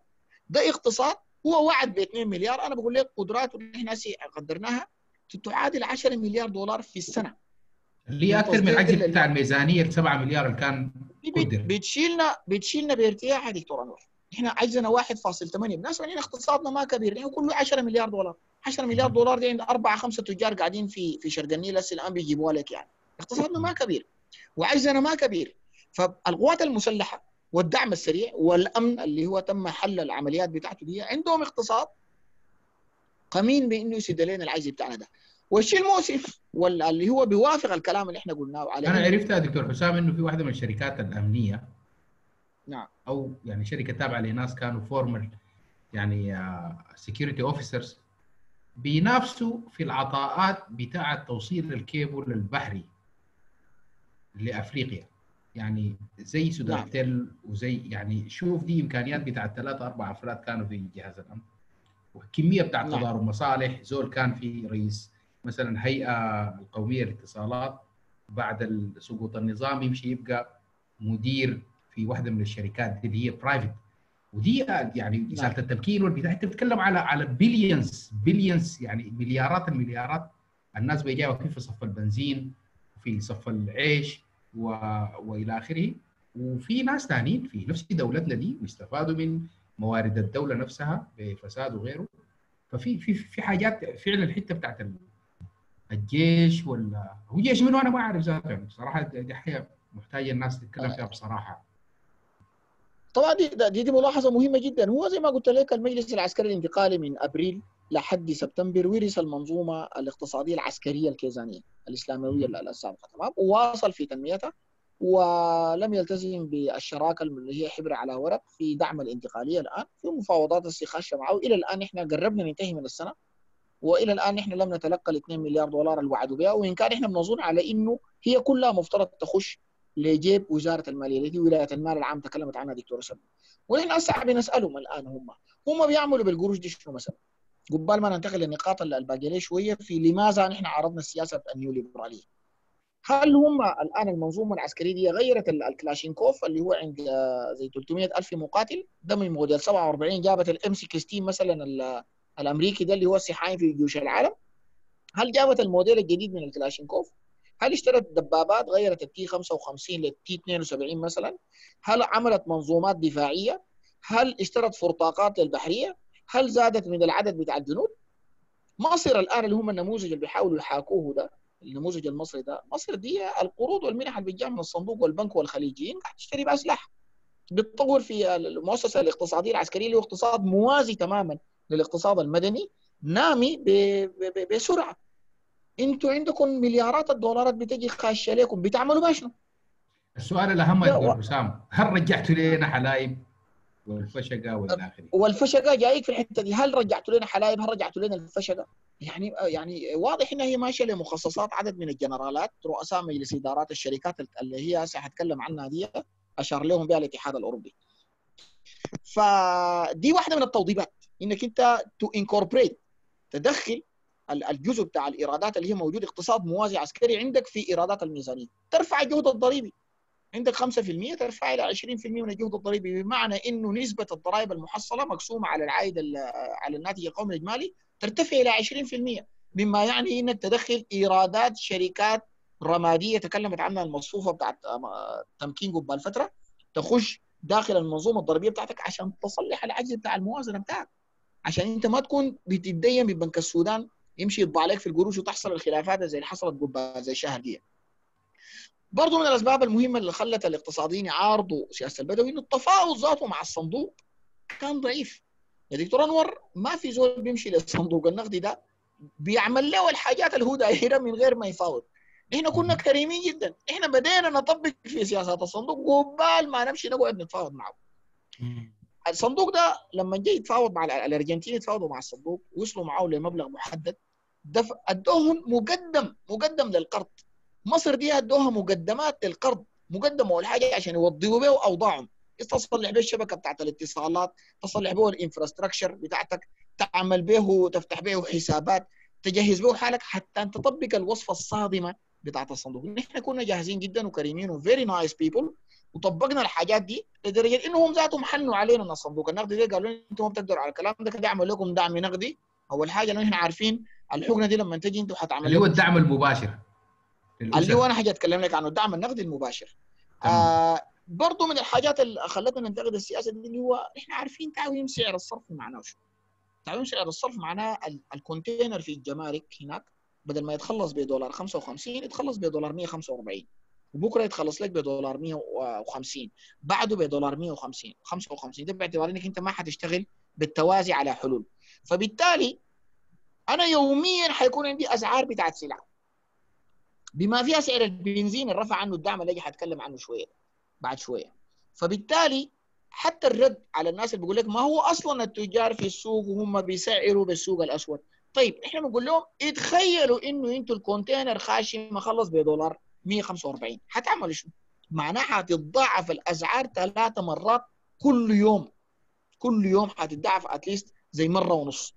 وده وضع كارثوي يعني. حيسوقنا نحن للعرض بتاع زيمبابوي أو لبنان الآن. وبحمد الله تم رفض القرار ده داخل أروقة رئاسة الوزراء اللي هو كان مزيد من رفع الدعم عن الوقود.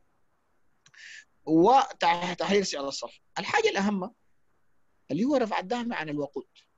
وهنا في يعني جدل قائم إلى الآن ظهرت اسيا آثاره الآن. آه المعلومات الجماعة آه وزير المالية عن سلعة الوقود اللي طبعا دي الروشته بتاعت الصندوق بتقول قالت إنه الناس الأغنياء ديل هم المستفيدين من الدعم. منو الناس الأغنياء؟ قال الناس السايقين عربات. وهنا في كان اختلاف إحصائي كبير. أي زول سائق عربية هو غني؟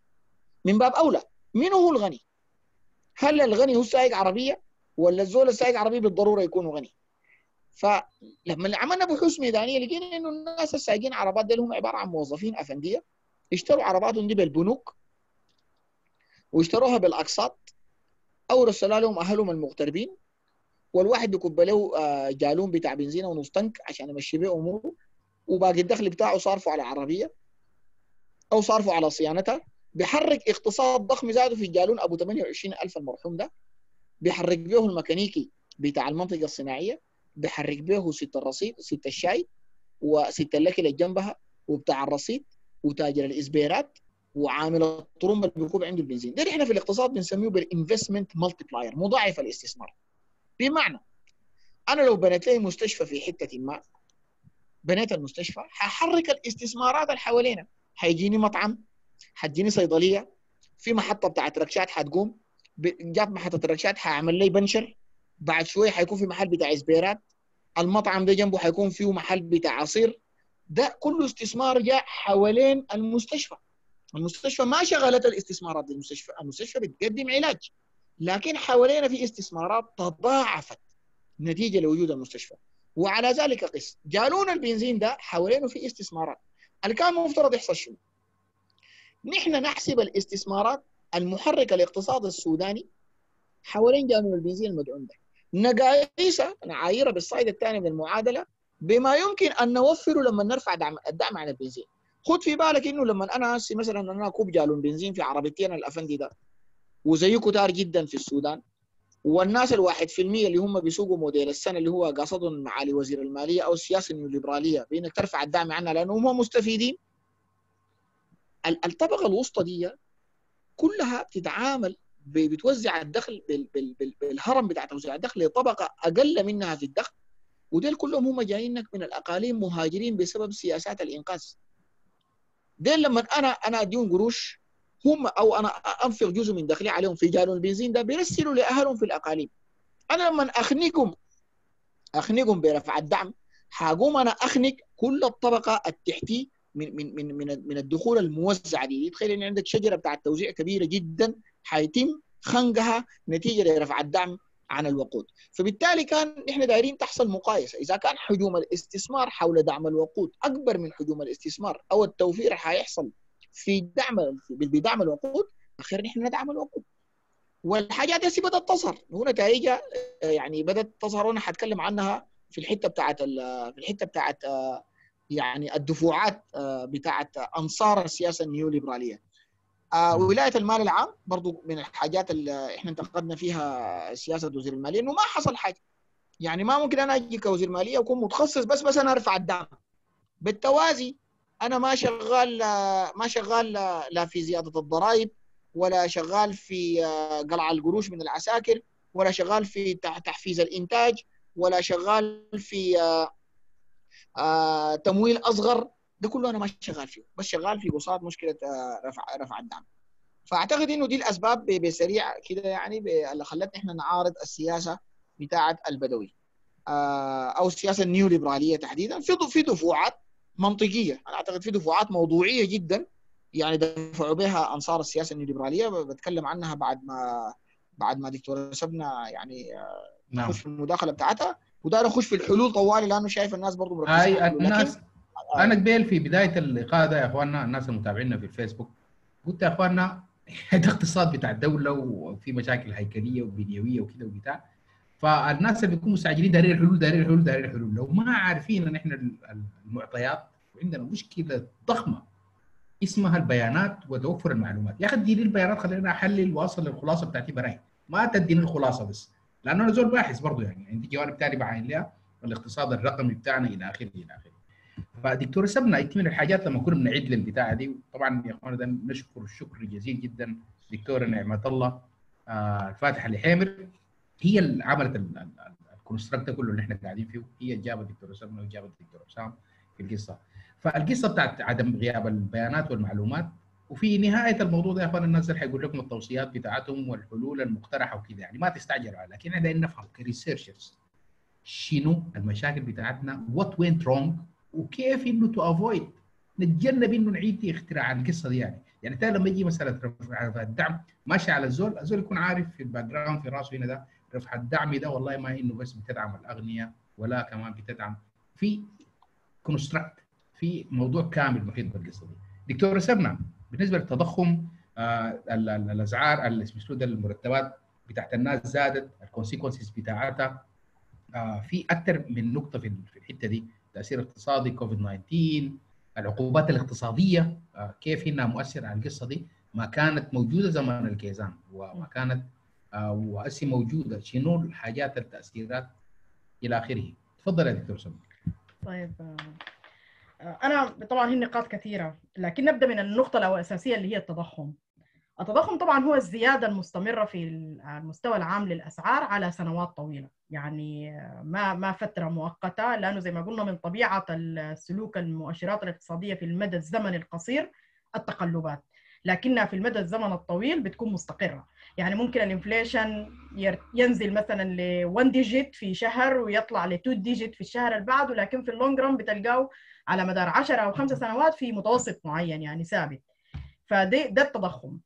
التضخم عنده أسباب طبعا. في تقريبا إحنا في السودان اختبرنا أي شيء لكن أو أو مش اختبرنا بمعنى إنه في models طبعا رياضية للعوامل المؤثرة على التضخم. لكن mainly أنا بتكلم ممكن أقول إنه في built in inflation في الاقتصاد ذاته. أنا ما عارفه أحس إنه دكتور أنور ضفع الله أنت معاي ولا؟ سامعك سامعك تمام. يعني كويس. أيوه نعم. زي قطع ال connection عندك هنا. كل الناس متابعين. آه okay تمام.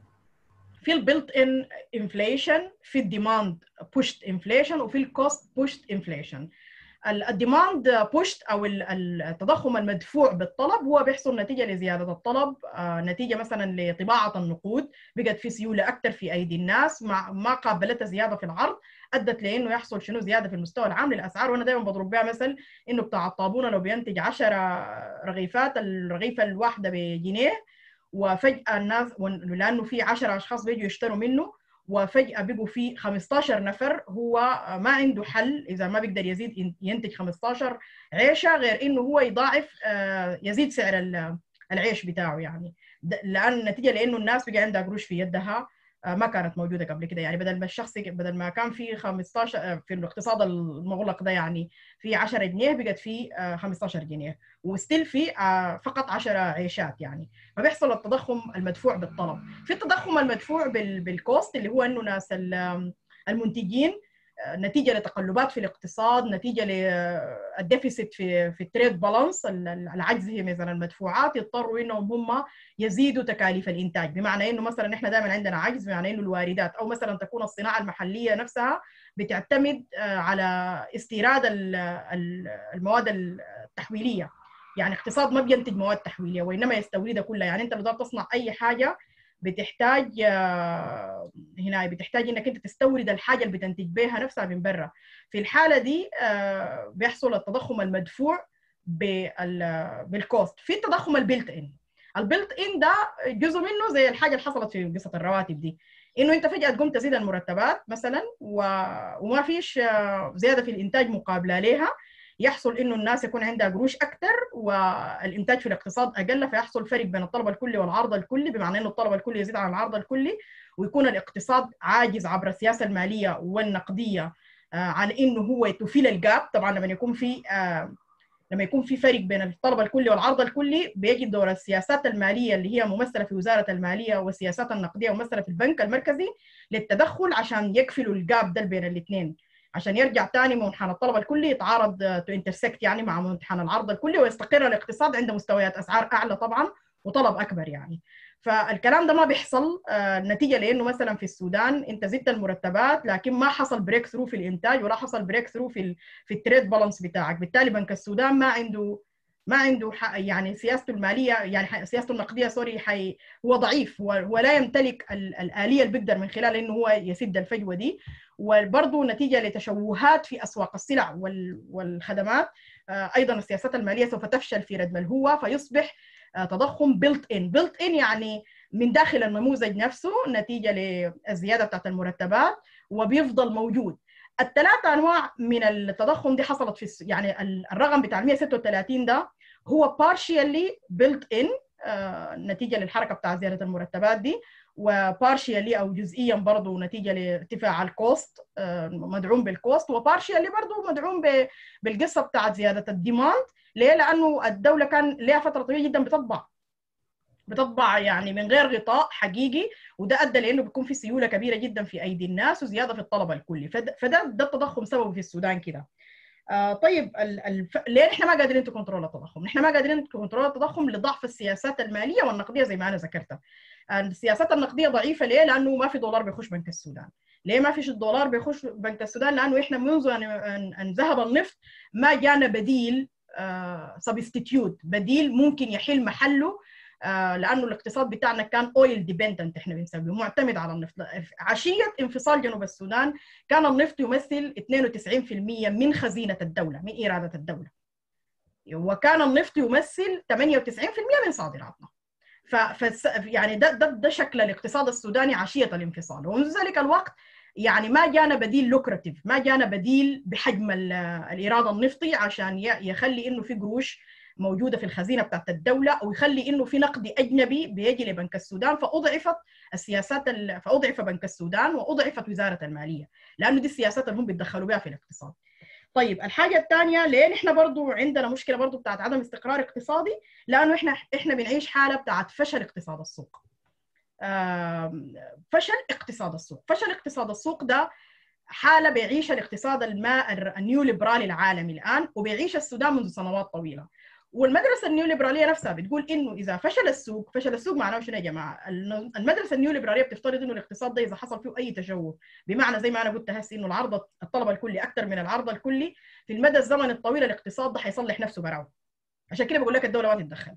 يعني في المدى الزمني الطويل حيرجعوا المحاميين ديل يتلاقوا براهم تاني بفعل آلية السوق أو اليد الخفية زي ما بيسميها آدم سميث. لكن بيحصل في مرحلة ما إنه الكلام ده ما يحصل. لما أنا الإنفليشن عندي يستمر يا جماعة لخمسة ستة سنوات لما العجز في الميزان التجاري يستمر ل 15 20 سنة لما البطالة تستمر لخمسة ستة سنوات لما الركود الاقتصادي يستمر لخمسة ستة سنوات أنا هنا بعلن إنه في إنه إنه الاقتصاد لم يصحح ذاته وبعلن حاجة بنسميها فشل آلية السوق ودي عندها أسباب منها ال externalities وأسباب كثيرة واللي هي اللي بيسموها نحن ال public goods إنه هو going to provide the provision of public goods اللي هي التعليم والصحة والأمن وغيره. لكن ده نقاش آخر. لكن المهم إحنا بنعيش حالة بتاعت فشل اقتصاد السوق يستدعي تدخل الدولة. يعني نحن الآن في مرحلة زي لأنه الدكتور قال ليه نحن يعني بنعارض إنه ننغمس أكثر في المدرسة النيو ليبراليه لأنه إحنا بنفتكر الآن ولما أنا أقول تدخل الدولة ما بقصد كمان النموذج اليساري الراديكالي بمعنى التأميم. يعني الناس ما تاخذ في بالها إني أنا دايرة التاميم لا أنا بقصد شيء نوعا ما المزيج من المدرسة الكنزية والمدرسة النمساوية. بمعنى إنه الدولة لما تحس إنه المكنة دي زي ما هو قال خلاص عضت كله كله ما شغالة لابد من إنه إحنا نتدخل في تفكيك ال rigidities دي عشان ت flow الاقتصاد. فنحن الآن محتاجين إنه الدولة ترجع تسيطر. ترجع تتحكم في بعض الأشياء عشان ت control لكن من غير ما إنها هي آه تكون متواجدة كمان بشكل ينافس القطاع الخاص. ده, ده طبعا بيتعارض مع البنك الدولي مع الوصفة أو بالضبط كده. هم بيفتكروا أيوه بيتعارض تماما. هم بيرفض هم بالنسبة لهم حكاية تدخل الدولة ده يعني آه يعني حاجة مرعبة أو حاجة يعني غير محبذة على الإطلاق وإنه الدولة دي هي أكبر عدو للاقتصاد يعني. نحن ما بنتفق مع الحاجة دي بنشوف إنه التدخل الناعم في الدولة للدولة في الاقتصاد دائما مطلوب when things uh, زي ما بيقولوا goes awfully wrong. And it goes awfully wrong now in Sudan since many years يعني. طيب الحاجة الثانية في حاجة أتكلم عنها إنه العجز مثلا في الاقتصاد السوداني فعلا ما كبير. وفعلا دي حقيقة لأنه إحنا أصلا اقتصادنا ما كبير. فعلا إحنا الاقتصاد السوداني هو ما من الاقتصادات الكبيرة ولا من الاقتصادات المعقدة. ولكن آه إحنا عندنا اقتصاد خفي أو اقتصاد مو عشان أرجع لحتة المعلومات اللي أنت قلتها. عندنا اقتصاد خفي أو اقتصاد آه ما أعرف بيسموه خفي بيسموه غير قانوني بيسموه عنده مسميات كثيره المهم اقتصاد خفي نما واستفاد لأنه طبعا مزيج. الدولة الريعية آه بيؤدي لضعف المؤسسات. الدولة الريعية المؤسسات تحت الدولة بتكون فيها ضعيفة.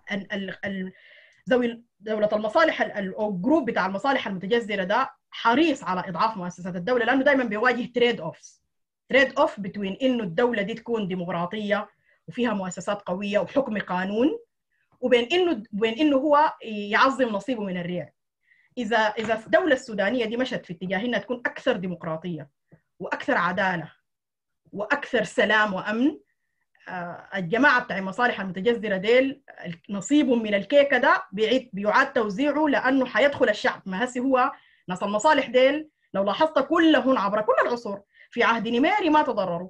يعني الجيش مثلا ناخذ الجيش. الجيش الجيش السوداني هو عضو أساسي في دولة المصالح المتجذرة. حمايتي ده ما جي جديد دخل في ال group جديد. لكن أصلا المؤسسة العسكرية السودانية هي جزء من دولة المصالح المتجذره لأنها أسست على في زمن التركية على أساس الانكشارية.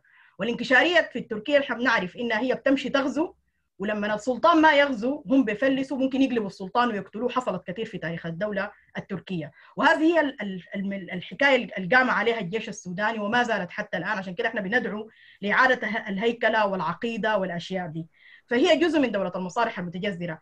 إصرار العسكر على أنه يحكم السودان باستمرار هو في إطار التنافس على الريع. هو economically motivated. It is not politically motivated. هم ما بيحبوا السلطة. هم ما عاوزين يحكموا لأنه دي دوشة راس. هم دايرين يكرسوا لمصالح المؤسسة العسكرية الاقتصادية. اثنين آه الأسر الكبيرة والطوائف.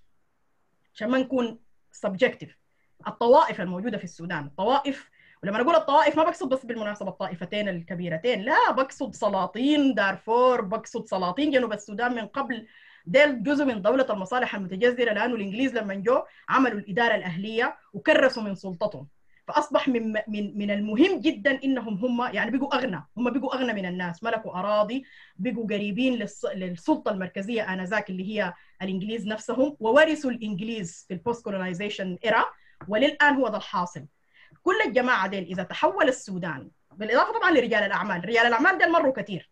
يعني كان زمان عندنا أسماء الأسماء دي اندثرت في عهد نميري وجات أسماء جديدة الإنقاذيين يعني بنلاحظ في كل حكم في أوليغاركية جديدين في في رجال أعمال جدد أسماء بتلمع كده يعني زمان بنسمع ناس فلان وناس فلان وناس فلان وبعد شوية نقوم نسمع نادو يلا هم بيناتهم علاقات اقتصادية وأسرية وبنسمع الكلام اللي بنشوفه حايم في الفيس. ده ما ده ما ما ونست يعني هنا ده كلام علمي. ده فعلا ده فعلا ما يحدث في كل نظم الريعية عبر التاريخ. هكذا تتوالد وتتطور لأنه بتتقسم الريع. إذا أصبح السودان حتى الدكتور البدوي ذاته عنده ورقة بحثية مهمة. أنا يعني هي مكتوبة بالإنجليزي لكن أنا بفضل إنه أي زول لو لقى فرصة يطلع عليها بعتبرها مهمة هو عملها مع دكتور علي عبد القادر علي اسمها افريكان في اسمها explaining Sudan's economic growth performance. Please everybody should go through this. واحدة من أهم الحاجات اللي نوه لها الدكتور هنا أو ال findings بتاعت ال paper دي which I find very interesting انه هو ذكر انه السودان ده لم يكن قط ادى أداء جيد institutionally طبعا الحوكمة اللي هو ده الجانب ده يتكلم عنه بعد لو سمح الزمن السودان عنده مشكلة بتاعت مؤسسات لأنه الدولة الريعية زي ما قلنا بتضعف المؤسسات لأنها anti democracy عشان كده الديمقراطيه الديمقراطية ما قاعدة ما تستقر في السودان بسبب العسكر لا. ما ده السبب الأساسي؟ والديمقراطية ما قاعدة ما تستقر في السودان بس بسبب يعني المشاكل الاقتصادية اللي قاعدة تتعرض لها لا. لأنه الدولة ذاتها anti democracy لأنه الدولة في تركيبتها وهيكلها pro dictatorship why it is pro dictatorship لأنها ريعية. وأنا عشان اكون أكوش على الريع ده لازم أضطهد لازم أكون طبقي ادي أقرب ناس وأبعد ناس لازم أعمل genocide لازم وعشان كده في الورقة حقت البدوي هو شايف وفي برضه data set جميلة جدا أنا كل الباحثين هنا اسمها ال V-Dem ال V-Dem data دي دي data عن ال institutions وال democracy موجودة free online بتقدر تنزلها من سنة 1800 وحاجة عن أي دولة في العالم. ال data دي بتوريك ال rule of law بتوريك freedom of expression بتوريك democracy indicators الحاجة المفاجئة إنه السودان ده لم يكن فيه لم يؤدي اداء جيدا قط لا في الفترات الديمقراطية ولا في الفترات الدكتاتوريه في الفترات الدكتاتوريه مفهومة طبعا مفهومة لأنه الدكتاتور ده أصلا يعني بيكمم الأفواه وبيعمل. الحاجة اللي was very astonishing for me من ال data إنه السودان كان يؤدي اداء سيئا أيضا في الفترات الديمقراطية. يعني موضوع structural أيوه معناها شنو structural بالضبط هي دي الكلمة. هي متعلقة ببنية الدولة الريعية. انها هي دولة تكمم الأفواه بس بأشكال مختلفة بت بتش بت بتوري نفسها بشكلها القبيح لما يكون الحاكم ديكتاتور. لكنها أيضا manifests itself within the democratic uh, periods وفي بس بأشكال softer يعني مثلا بالمحسوبية. محسوبيه patronage بيسموها الخواجات المحسوبية موجودة موجودة في النظم الديمقراطية وال- والمعدل بتاع ال patronage. أنا بتكلم عن indices مش بتكلم عن رأيي الشخصي. أرقام يعني المؤشر بتاع ال patronage. patronage معناه شنو؟ معناها الاستفادة من العلاقات الشخصية أو الأسرية في التمكين الاقتصادي والسياسي. إنك أنت تحصل على منصب سياسي نتيجة لإنك قريب ده ولد ده معرس ده كده. ده كلام موجود في ال data فال index بتاع السودان is very high المحسوبية بتعني إنك تحصل على عطاء نتيجة لقربك من الحزب الحاكم وده كان موجود للأسف حتى في الفترة الانتقالية نتيجة لريعية الدولة. فدي عشان كده ال data مهمة. أنا بعتبر أهم جهاز في الدولة السودانية هو الجهاز القومي للإحصاء. ده طيب جهاز لازم. دكتور إبراهيم البدوي هو أصلا researcher يعني very good researcher الجهاز الجهاز القومي للاحصاء ما شفنا فيه أي تغيير في فتره ال- أيوه أيوه. بتاعته؟ أنا كنت أتوقع والله ودي من الحاجات اللي اتفاجات فيها يعني دكتور البدوي statistician أو econometrician في الأساس وباحث لا يشق له غبار يعني زول ما شاء الله اشتغل كثير في البحث العلمي لكن كنت أتخيل إنه أول حاجة لأنه الاقتصاد ده بيتبني على شنو؟ بيتبني على سياسة وبيتبني يعني واحدة من رؤوس المثلث الاقتصاد السوداني إنه يكون عندك موارد تكون عندك سياسة sound economic policy و resources والحاجة الثالثه ال sound information أو المعلومة الصحيحة. إذا أصلا أنت ما عندك معلومة ما بتقدر. فأنا يلا ده كله بيرجعني للحتة بتاعت الاقتصاد الموازي. الاقتصاد الموازي ده أو الخفي ده أصبح هو أكبر. أنا الآن كسبنا يعني ما عندي رقم. لكن من من من رؤيتي للاقتصاد السوداني إنه الاقتصاد الموازي أو الخفي أو الاقتصاد الذي لا تديره الدولة عشان نكون دقيقين أكبر وأكثر تاثيرا على الاقتصاد السوداني على مؤشرات الاقتصاد السوداني من الاقتصاد الحقيقي. أنا متأكدة إنه العملة التي تطبع خارج بنك السودان حتكون أكبر بكثير من العملة اللي بنطبعها نحن اوفيشيالي وعندي اعتقاد بإنه إيرادات السودان طبعا من الذهب طبعا دي معروفة لأنه نحن هو الوزير ذاته قال إنه نحن ما بنحصل أكثر من 10% معناها في 80% هي إيرادات لا تذهب لخزينة الدولة فوي بتمشي وين؟ بتمشي في الاقتصاد الموازي أو الخفي ده. الحاجة اللي إحنا عارفينها إنه في شركات أمنية ده اللي إحنا عارفينهم لكن لا لسه كمان في تجار في السوق في طابعي عملة عشان كده الناس لما نادت بإنه أنت تغير العملة ما كان اعتباطا لأنه أفتكر إنه كثير من الاقتصاديين بيتفقوا معي في الرؤية دي إنه فقد بنك السودان يعني القصة أو دولة السودان القصة السيادية في طباعة العملة السودانية دي نفسها. فالمعلومات وال field work يعني مش المعلومات ال secondary المعلومات اللي بتتاخذ من ال field وده دور الجهاز القومي للإحصاء ودور الجامعات السودانية برضه إنها to build its own database ده مشروع أنا يعني بتمنى إنه الناس ياخذوه من هنا. عشان نحن نبني آه نعمل آه دراسات بتاعت مثلا دكتوراه وحتى في مرحلة الماجستير نفسها إنه الناس يمشوا ياخذوا field work يعني يمشوا يجيبوا المعلومات من السوق. ليه؟ لأنه إحنا we have to unveil unveil يعني نكشف عن هذا الاقتصاد الموازي ونشوف حجمه كم وحنتفاجئ بالحاجة دي. يعني إذا كان حجم الاقتصاد السوداني 10 مليار أنا متأكدة إنه الاقتصاد الموازي الآن نما وتطور وممكن يكون وصل لحد ال 100 مليار. فأصبح هو تأثيره اللي إحنا بنشوفه في الاقتصاد على التضخم وال stability بقى أي حركة بتحصل في الاقتصاد الخفي الغير مرئي ده بتؤثر في الاقتصاد بتاعنا نحن شايفينه. لكن إحنا بنقول الكلام ده حاصل كيف يا جماعة؟ Don't understand the reason behind inflation. بن, بنقول الأسباب النظرية. لكن when we try to touch ال reason بنلقى روحنا ما قادرين نلمسه. ليه ما قادرين نلمسه؟ لأنه خفي لأنه ما موجود في في ما موجود في التقرير السنوي لبنك السودان ما موجود في report ات المالية.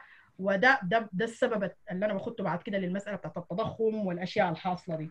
طبعا أنا بضيف للحتة بتاعت الهيكلية بتاعت الاقتصاد الريعي اللي فيها مشكلة اللي هي برضه السياسة بتاعت الغطغطه والدسداس اللي هو ال lack of transparency يعني هسه نحن دير متابعين من برا عايزين نعرف يعني بنعرف عبر الإنترنت لو لو هسي ترامب الليلة اتغدى شنو؟ أنا داير اعرفها بعرفها لو داير اعرف ترامب ياخذ مرتب كم ووقفوه أدوه مخالفة مرورية وين؟ لما كان عمره 18 سنة بقدر أعرف. لكن ما بقدر أعرف. أنا ما ما, أعرف عبد الله حمدوك بيعمل في شنو؟ ما أعرف أيوة. البرهان بيعمل في شنو؟ حميتي كل يوم يومين ثلاثة نلقى حساب بتوسخ جديد. وسخ. حساب الفيسبوك بعد شوية وسخ حساب الانستغرام. يا يا ما بتعرف إحنا ماشيين لوين؟ أيوه أيوه. غياب تام للبيانات والمعلومات وبتحس إنه في صالون مغلق كده قاعدين فيه شلاليات ولا نسميهم يعني أي. نخبه بيتكلموا مع بعض وأنت كمواطن بغض النظر كنت researcher كنت دكتور كنت غيره ما في زول بيديك أي consideration ما- يعني أيوة. هسه لما دكتور آه. حسام بيقول إحنا في المقاومة الاقتصادية وكذا وهو زول قاعد في السودان وخبير وعنده بيانات وعنده models وإلى آخره. وبحس إنه هو marginalized ما ما قاعد في الطاولة بتاعت الحوار. لأنه مثلا دكتور حسام أنا زول I trust بعتقد إنه والله يا أخي بيجي راجع يديني ال feedback يوريني الحصل شنو بيكتب في الفيسبوك بتاعه ولا غيره. ولا غيره لكن الناس ال- ال- ال ruling ال ruling gang العصابه الحاكمة بغض النظر عن كانت هي كيزان ولا غيره هي ما عصابه هي. هي مصالح هي دولة مصالح Absolutely. أنا agree أيوه. هي ما هي إحنا إحنا دائما بنتكلم very generic يعني لكن هي اسمها العلمي ممكن كده تبقى دولة ممكن يكون عصابه يا دكتور أيوه ممكن ما هو الاصل هي ممكن طبعا ما هو eventually بتبقى كده. لكن النقطة بتاعت ال transparency اللي أنت أشرت لها دي مهمة جدا. آه مهمة جدا في شنو؟ أنت قلتها بصفة عامة في حكايه إنه ال communication بين ال cabinet وال- والشعب. لكن ال transparency في القصة مثلا حقت الذهب في حاجة. الآن معروفة اسمها transparency extractive industries transparency initiatives دي. اسستها ال- الأمم المتحدة وهي بتلزم الدولة اللي بتنتج آه، مواد استخراجية زي النفط والغاز والذهب والحديد زي ما ذكر الدكتورة وأي معادن أخرى ماس يورانيوم غيره. إنها تعرض أنتجت كم؟ وودت وين؟ صدرت وين؟ وفي تكون بابليكلي يعني تكون أنت مثلا. أنور دفع الله. ما اقتصادي وما عندك علاقة بال- بالموضوع ده يعني. آه بتقوم أنت شنو؟ تفتح الموقع في الإنترنت. تعرف إنه السودان ده أنتج كم برميل بتاع نفط وأنتج كم طن من الذهب وباع عليه منه. والريفينيو مشى وين؟ دي أنا بنادي بإنها هي واحدة من الإصلاحات المؤسسية الضرورية جدا. آه يعني أنت لو ليلة جبت حميتي قلت له يا أخي ورينا الذهب ده أنت بتوديه وين؟ ولا ولا مهربي الذهب ده اللي قبضت عليك خمسة. You will never trace it that way. لكن إذا عملت مبادرات زي دي دي دي دي أجهزة ومؤسسة بتجي عندهم طرق معروفة وطرق علمية وناس مدربين جدا very skilled. آه، they can trace الحاجات دي بط- بطرق معينة و... وانت كده بتحاصر لأنك انت بتلزم أي منتج بأنه هو to report في الحاجة دي وعندك طرقك إنك انت ت trace back مدى مصداقية المعلومة اللي هو خدتها. إحنا في فترة النفط ما كنا حتى مراقبين في ال initiatives دي هو انت بتقدم طلب بتقول أنا والله داير أدخل في المبادرة دي. آه، بيقوموا ي- يقيموا مستواك مستوى ال transparency في في بلدك وبيقوموا يقولوا لك يا أخي والله أنت مثلا ما بتصلح إنك تخش فيها عندك هي بتمر على 3 stages ثلاثة مراحل شروط بتستوفيها في الآخر بتبقى مراقب بعد المرحلة الثانية بعد المرحلة الثالثة بتبقى عضو رسمي. عضو رسمي معناها ما في أي مواطن في السودان ثاني اللي هم كل ال stakeholders بيكون عندهم معرفة بإنه ماذا ينتج من موارد في بلدهم وإلى أين تذهب وكيف تصرف ولمن تباع ودي دي في إطار العملية بتاعت إنه يكون عندنا informative economy لأنه أنت بدون ال right information دائما حتكون طبعا قراراتك آه، مغلوطة ويعني وغير صحيحة. آه، بالنسبة للمسألة بتاعت ال- الأجور دي إحنا اتكلمنا فيها قلنا يعني إنه آه، أنا ما عارفة طبعا الحيثيات ال- السياسية لكن طبعا هي definitely غزت ال stagflation يعني غزت ال- التضخم وحتستمر في تغذيته لأنها built in زي ما أنا ذكرتها. وأنا بفتكر إنه وزارة المالية وال- والنقدية لو كانوا أقوياء enough وما كانت في structural rigidities كان ممكن تكون الزيادة دي تؤدي إلى زيادة الطلب الكلي وتحفز النمو الاقتصادي. لكن unfortunately this is not going to happen again لأنه نحن ما كنا جاهزين لها لأنه في rigidities بتمنع الدولة من القدرة على إنها هي تمتص ال shock من الاقتصاد. ده رأيي فيها باختصار يعني. وافتكر إنه ده ما كان الوقت المناسب لها على الإطلاق. آه، بالنسبة للجيش بالنسبة للجيش الجيش ال- السوداني طبعا آه، لكن قبل ما قبل ما نمشي للجيش واحدة من أهم الأشياء اللي أنا برضو داير أذكرها هنا في الدولة الريعية دي إنه برضو آه، في الدراسة دي آه، في حاجة very interesting إنه بتوري إنه ال- الولايات السودانية الولايات السودانية المختلفة وهي مقسمة طبعا ال North East اللي هي كسلا والخرطوم ال Blue Nile النيل الأزرق ال North West اللي هي كردفان ودارفور حجم ال population والمساهمة في الناتج الإجمالي المحلي. فأنت بتقوم بتلقى مثلا إنه كسله والخرطوم مع بعض بيمثلوا 22% من من عدد السكان وبيساهموا ب 32% في ال GDP. بتلقى إنه ال Blue Nile بتمثل 20% من السكان is less يعني لكنها 41% من الناتج الإجمالي المحلي بتاعك. وبتلقى مثلا ال North West كردفان ودارفور بيمثلوا من ال population زي حوالي 30% وبيمثلوا 27% من ال GDP وده بيرجعنا لنقطة مهمة طبعا في الجنوب برضه كان في الدراسة دي لكن الجنوب الآن ما إحنا ما معنيين به كثير يعني. لكن دي الولايات بتاعت السودان. لو تلاحظ إنه كردفان ودارفور و Blue Nile هي بتمثل الثقل الحقيقي للاقتصاد السوداني. ودي الولايات اللي هي فيها طبعا مشاكل واضطرابات على عبر تاريخ السودان الحديث. على الرأي يعني مثلا زي النيل الأزرق دي الآن اللي هي تقريبا أصبحت يعني واصلة مرحلة إنها بتطالب بال بالانفصال دي هي في الواقع بتمثل 41% من الكباسيتي بتاعت الاقتصاد السوداني. يعني أنت لما تخسرها حتخسر 41% من قدراتك الاقتصادية. يعني الرقم ده ما هو في فترة الخمسينات والستينات لكن هو بيوريك حجم القدرة الاقتصادية للإقليم المعين. فانت لما تيجي تمشي للمفاوضات حقت السلام دي you have to incorporate that in your mind. يعني لازم تكون في في في تفكيرك الخلفي النخبة أو دوله المصالح المتجذره هي متمكنة في الخرطوم. لكن الخرطوم دي ما بتمثل أكثر من 32% من قدرات الاقتصاد السوداني. يعني أنا لو داير الاقتصاد السوداني ده في المستقبل to fly it will not fly من الخرطوم. It will fly من النيل الأزرق ومن دارفور ومن كردفان. دي الثقل الاقتصادي بتاع السودان. يبقى الدولة أنا بقول التفكيك الدولة الريعية لأنه طبعا هو جنوب السودان انفصل ليه؟ انفصل لأنه الإنجليز كانوا في الخرطوم وفي نخبة كانت قريبة. حدث إنه في نخبة قريبة منهن فتعلمت والإنجليز تعمدوا إنه النمو التطور المؤسسي والتطور الاقتصادي يحصل في الجزء الشمالي وما يحصل في الجنوب كتعليم وك human يعني development in general يعني. كان في بون وعمقوا برضو الفوارق أصلا موجودة الدينية والعرقية بسياسة الأراضي المغلقة لأنهم منعوا ال Afro-Arabic culture إنها هي تمشي to spread in the South فدي حاجة اتعملت وجاء ال successive governments after that يعني ما حاولوا إنهم هم يعالجوا المشكلة دي. استمر استمرت العملية بتاعت ليه؟ لأنه الدولة ريعية. الموجود في الشمال هو بيملك الريع ومسيطر عليه وما عاوز يخشوا معاه ناس ثانيين لكن ابتدى عشان كده الحرب الأهلية في جنوب السودان بدأت حتى قبل قبل استقلال السودان يعني. آه الآن المزيد من مظاليم النظام الريعي ده اللي هم في النيل الأزرق وفي دارفور وفي كردفان برضه بدوا يعني يمشوا في نفس ال... في نفس الاتجاه. وديل بيمثلوا ثقلنا نحن الاقتصادي. يعني في مشكلتين هنا في الثقل بتاعي الاقتصادي وفي نفس الوقت هم إذا انفصلوا هم ذاتهم حياخدوا عاداتنا نحن مثلا الموجودة في في في النخب النيلية أو الدولة الأم أنا بسميها حياخدوها معاهم وحيخشوا هم ذاتهم في احتراب فحيكونوا سبب في اضطراب دول ودولنا. لأنه مثلا إحنا هسه والجنوب ما انفصلنا تماما. إحنا خلفوا لنا وضع إنه فيه يعني النفط في الجنوب ولكن كل البروسيسنج والحاجات دي في الشمال. فنحن الآن من مصلحتنا إنه الجنوب ده يستقر. مصلحة استراتيجية بالنسبة للسودان. وحيكون من مصلحتنا إذا انفصلت دارفور إنها تكون مستقرة. وحيكون من مصلحتنا إنه البلو نايل تكون مستقرة.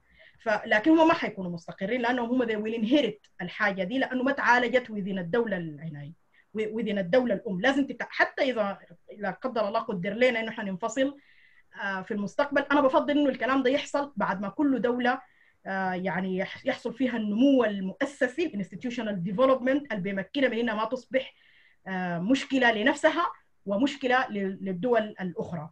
برضو من الحاجات من الحاجات الثانية إنه الان الآن إحنا في نموذجنا السوداني ده وأنا حتكلم عن الكلام ده في الحلول لكن in general أنا قلت الكلام ده هسه ليه؟ عشان كل المشاهدين يعرفوا إنه ثقلنا الاقتصادي موجود في أماكن الاحتراب. عشان الناس تفهم حجم أهمية السلام. اللي هي مش قضية سياسية هي قضية اقتصادية في المقام الأول. إنه أنت الحجم القوة الكباسيتي ما أعرف أسميها شنو. نتكلم دائما عن الموارد. الموارد دي أغلبها موجودة في الأماكن دي.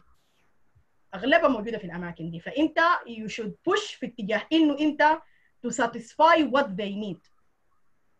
As fast as, as you can. أكثر من إنك أنت تعمق الصراع ده. وإنه أي يوم بيعدي نحن بنكون فيه مستمرين في القصة بتاعت الحرب دي نحن في مشكلة. والحاجة الثالثه والأهم من ده كله إنه لازم تكون فاهم إنه في قضايا عادلة.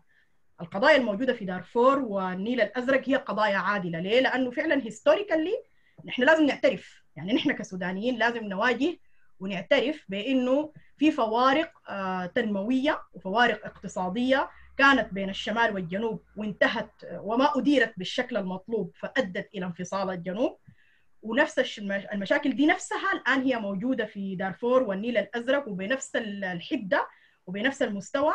وإنه إذا إحنا ما ما و... if we didn't face الحاجة دي وفضلنا نتكلم عن إنه لا نحن ما بنفرط. يعني إحنا دائما بنناقشها نقاش نخبوي. يعني بنقوم نقول يا أخي ديل الناس الحركات ديل ما تعرف. بنتكلم عن الحركات أكثر من نتكلم عن المواطن.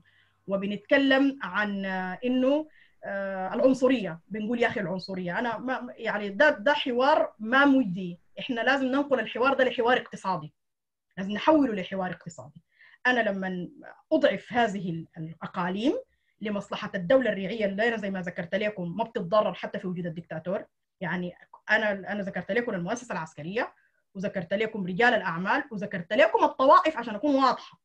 الناس ديل أصلا ما عانوا المعاناة اللي أبوي عاناها أو جدي عاناها أو أبوك أو أنا لأنه نحن برا الكيكة لكن هم موجودين في الريع ده ما بتجون عواجه. هسه كان جاء عسكري ثاني مسك 30 سنة ثاني بالمناسبة. مصالحهم دي المتجذرة دي هم they will emphasize it even more. I am sure إنه في بعض الطوائف اغتنت أكثر في فترة الدكتاتوريات مما كان يمكن أن تحصله في فترة لو انه إحنا استمرينا الكلام ده طبعا شفناه واضح جدا اللي هو في في قصة التكاثر الاميبي للأحزاب. يعني حزب الأمة بقى خمسه أحزاب وحزب الاتحاد بقى خمسه أحزاب ليه؟ لأنه في ناس ثانيين يخشوا في الكيكة. بس أي في, في الريع نعم. واضح جدا جدا. وبقى أي زول بيعمل له حزب حتى هسه أنا عرفت إنه في منشقين في حركات الكفاح المسلح. المنشقين ديل كلهم كده تلموا وعملوا لهم تكتل جديد عشان يخشوا يحصلوا والله عشان في يخشوا في في. أي لكن فعلا هو التغيير المحتاجينه تغيير جذري. فده بيسوقنا لو دكتور حسام عمل بس إضاءات على النقاط اللي فاتت عشان نتكلم عن الحلول. آه إحنا لا، عرفنا المشاكل. في آه، حاجة طيب أخيرة بس ممكن أقولها. اتف- اتفضلي كملي كملي يا دكتورة. في حاجة أخيرة أو نقطتين اخيرات الجيش آه، لأنه دي حتة برضه مهمة جدا جدا. آه، الجيش آه، السوداني آه، هو كجيش طبعا مؤسسة آه، قوية. من يعني قوية من ناحية رسوخها historically من ناحية انها هي آه، نمت وتطورت أكثر من ال civil forces يعني دائما أنا بقول ال military أي دولة فيها military forces و civil forces الحصل إنه التركيبة الريعية للاقتصاد السوداني طورت ال- الجيش أكثر مما طورت أو أو ذوبت الأدوار ال- المدنية في الجيش نفسه يعني. آه، أنا لما أقول لما نحن نهاجم الجيش أنا بسمع كثير ناس بتهاجم الجيش. في نقطة أنا برضو لازم هنا أحاول أنوه لها.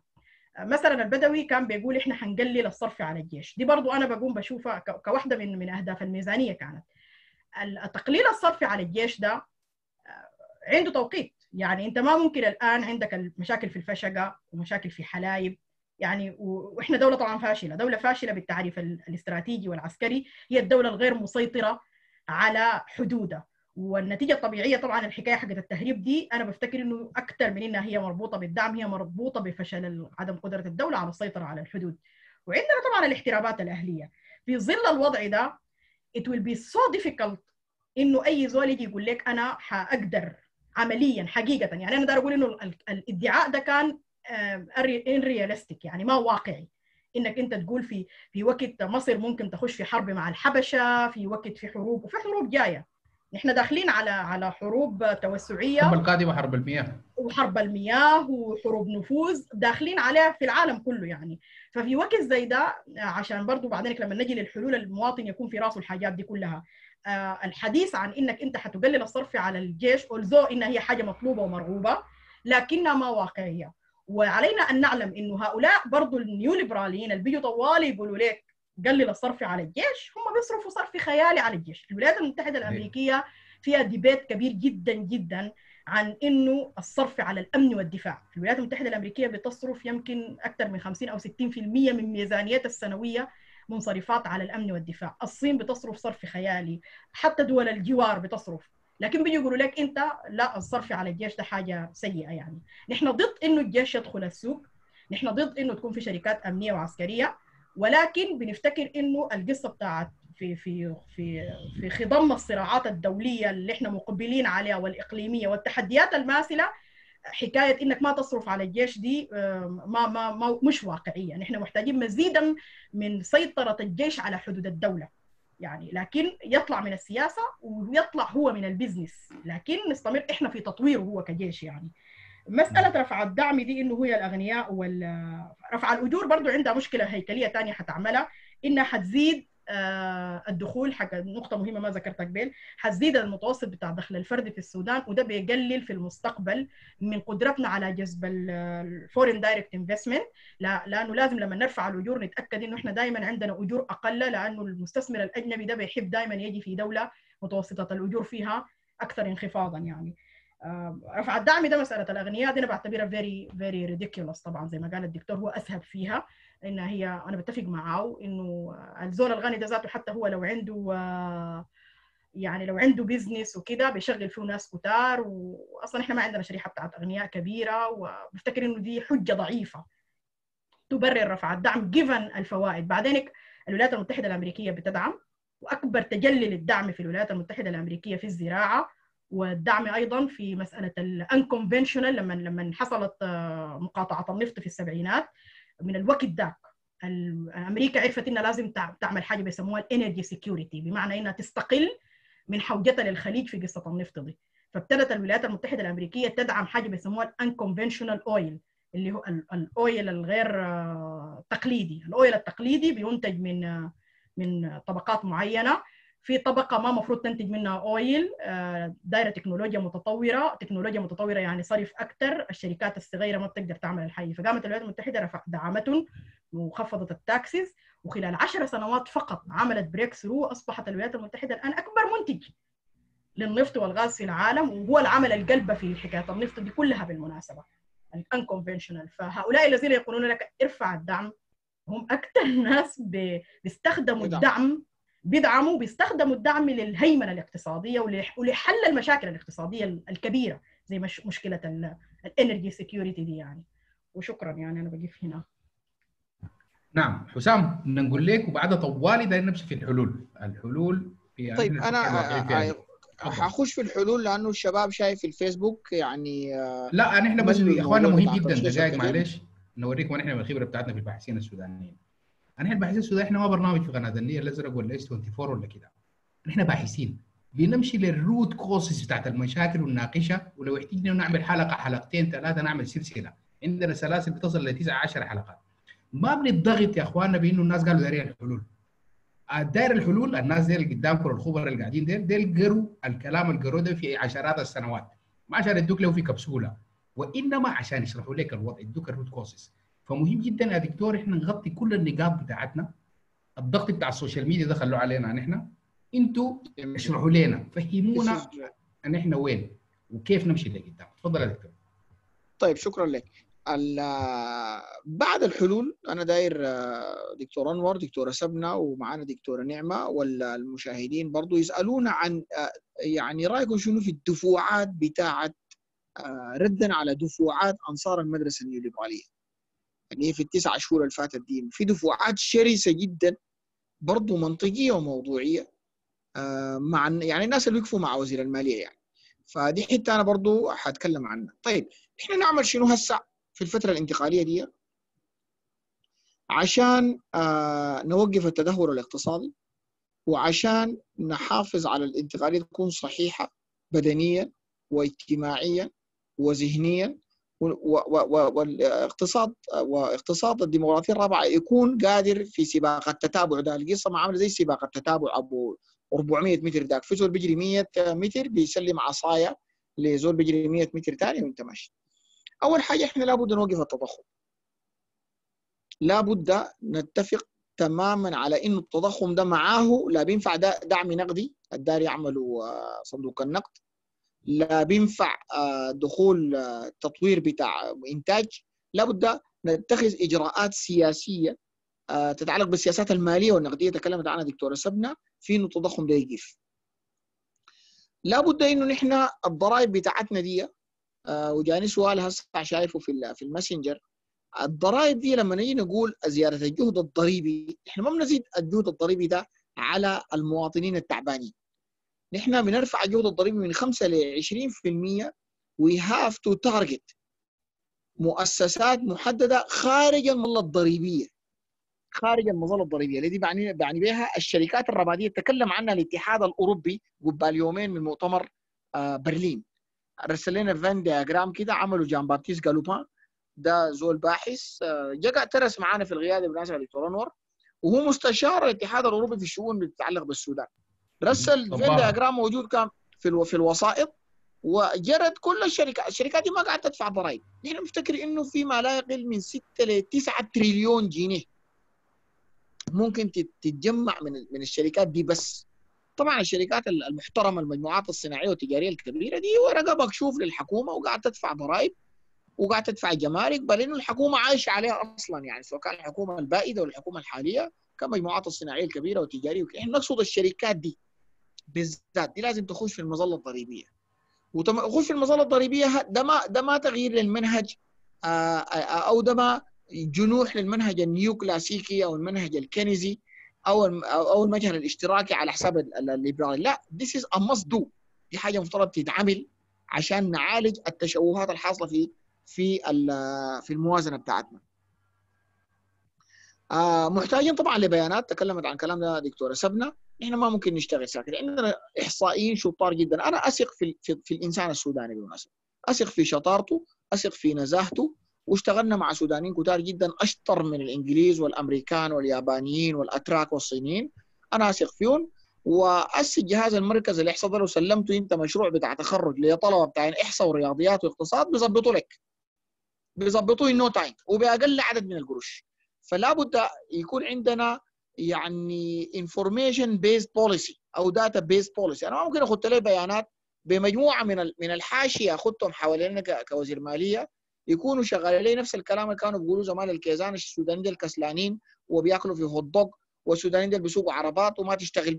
ما ممكن أنا اخت لي policy زي دي من غير ما يكون عندي statistical data تعرف لي مين هو الفقير ومين هو الغني والزول أنا داير أرفع عنه الدعم وأدعمه ده ال hierarchy بتاع دخله ده هو ذاته جاي كيف تمام؟ فلا بد إنه أنا أتخذ سياسات نقدية مالية. نقدية بمعنى اللي هي السياسات اللي بتحصل في البنك المركزي والبنوك التجارية لا بد إنه أنا أفهم 200 أنا أعمل سياسة توسعية أو سياسة انقباضية. والكلام ده باختصار لابد يتناقش في المؤتمر الاقتصادي. يعني أنا ممكن أفتي فيه إفتاءات دكتوره سبنا تقول فيه كلام جميل لكن عشان ما يكون جدل ورد وأخذ لا أنتم قاصدين نقعد في المؤتمر الاقتصادي الذي تم دحسه والمؤتمر الاقتصادي ده ما افترض ما يعطل لنا المؤتمر بتاع برلين. يعني لما نقول مؤتمر اقتصادي اللي هو ده حاول وزير المالية يعمله يعمل عدد من الإجراءات بحيث إنه يكون في de facto fait accompli policy سياسة بتاعت أمر واقع. خلاص يا اخوانا مؤتمركم ده ما منه أي فائده لا نقول إنه لازم نقعد في المؤتمر الاقتصادي ده. نحدد السياسات النقدية والمالية المحددة. حقتنا إحنا. لا شايفينها من الصندوق ولا شايفينها من البنك بحيث إنه ت stimulate ت stimulate أو تنشط الاقتصاد السوداني وتحاول تحل لنا جزئيا القصة بتاعت التضخم. طبعا لازم أعمل حسابي من المصرفيين وأنا بوجه يعني لوم ظريف لاخواننا المصرفيين البانكرز على إنه أنت ما ممكن تحل مشكلة بتاعت اقتصاد عالم نامي بالنظارة بتاعت البنوك. وهم طبعا لأنهم عندهم اطلاع على التحويلات النقدية وعارفين المرابحات وعارفين شنو الشغال بيفتكروا إنه هم الوحيدين الفاهمين نحن ممكن نحل الاقتصاد بكيف. لا. أنا بحل الاقتصاد بتخطيط براعي فيه الأشكالات الأساسية بتاعتي اللي هي الفقر. أنا عندي مواطن فقير. لازم أنا أساهم في إنه الفقر ده يقل. فبالتالي لو أنا اتبعت المنهج المصرفي اللي هو المنهج العالمي بالمناسبة في إدارة الاقتصادات اللي هو أربعة ولا خمسة أسر كبيرة في الدنيا عندها بنك واحد بيمول ذاته البنك الدولي والبنك صندوق النقد. لو اتبعت المنهج ده أنا ما طوالي أنا حكون في حالة من الفقر الدائري لابد أنا أحدد شنو أنا بعمله أول وشنو أنا بعمله بالتوازي. يعني أنا ما ممكن أدعم نقديا 500 جنيه 30 مليون إنسان وأنا ما قادر أسيطر على التضخم. في حلول بتاع التوالي في حلول بتاع التوازي. في حلول بتشتغل مع بعض باراليل وفي حلول بتشتغل بالتوالي. لابد يكون عندي مركز استراتيجي قومي. دي حاجة طبعا مهمة جدا يا يا يا, يا دكتور أنور ودكتورة نعمة ودكتورة سبنة وكل الحضور. نحن عندنا شتارة في التخطيط الاقتصادي. في شت... نوع من الشتارة. وزارة المالية ترفع الدعم. ضغطت على وزارة التجارة عشان تعمل لها برنامج بتاع سلعتي عشان تدعم لها السلع الاستهلاكية. طبعا ده, ده نوع من النشاز. أنا متأكد انه الناس بالصندوق بيضحكوا علينا. أنا ما ممكن أقوم أرفع الدعم عن ال عن ال عن ال عن كل الاقتصاد وأتوقع انه وزير الصحة يوفر لي دواء رخيص. ما ممكن أنا أرفع الدعم وأتوقع إنه عادل إبراهيم وزارة الطاقة يقدم لي كيلوات رخيص. الحاجات دي ده, شغل استراتيجي. الشغل الاستراتيجي بخلي المكنة اللي تكلمنا عنها التقسيمة بتاعتها synchronized الصوت بتاعها ناعم. بدل ما تحصل يحصل النشاز اللي هو أدى إلى إقالة ال إقالة ال الوزراء في الفترة اللي فاتت دي. آه لابد أنا أحفز الإنتاج. أنا الإنتاج بتاعي ده بحفزه بعملة محلية وبعملة أجنبية. هو ما ما محتاج أنا طوال لدولار أو يورو عشان احفز الإنتاج.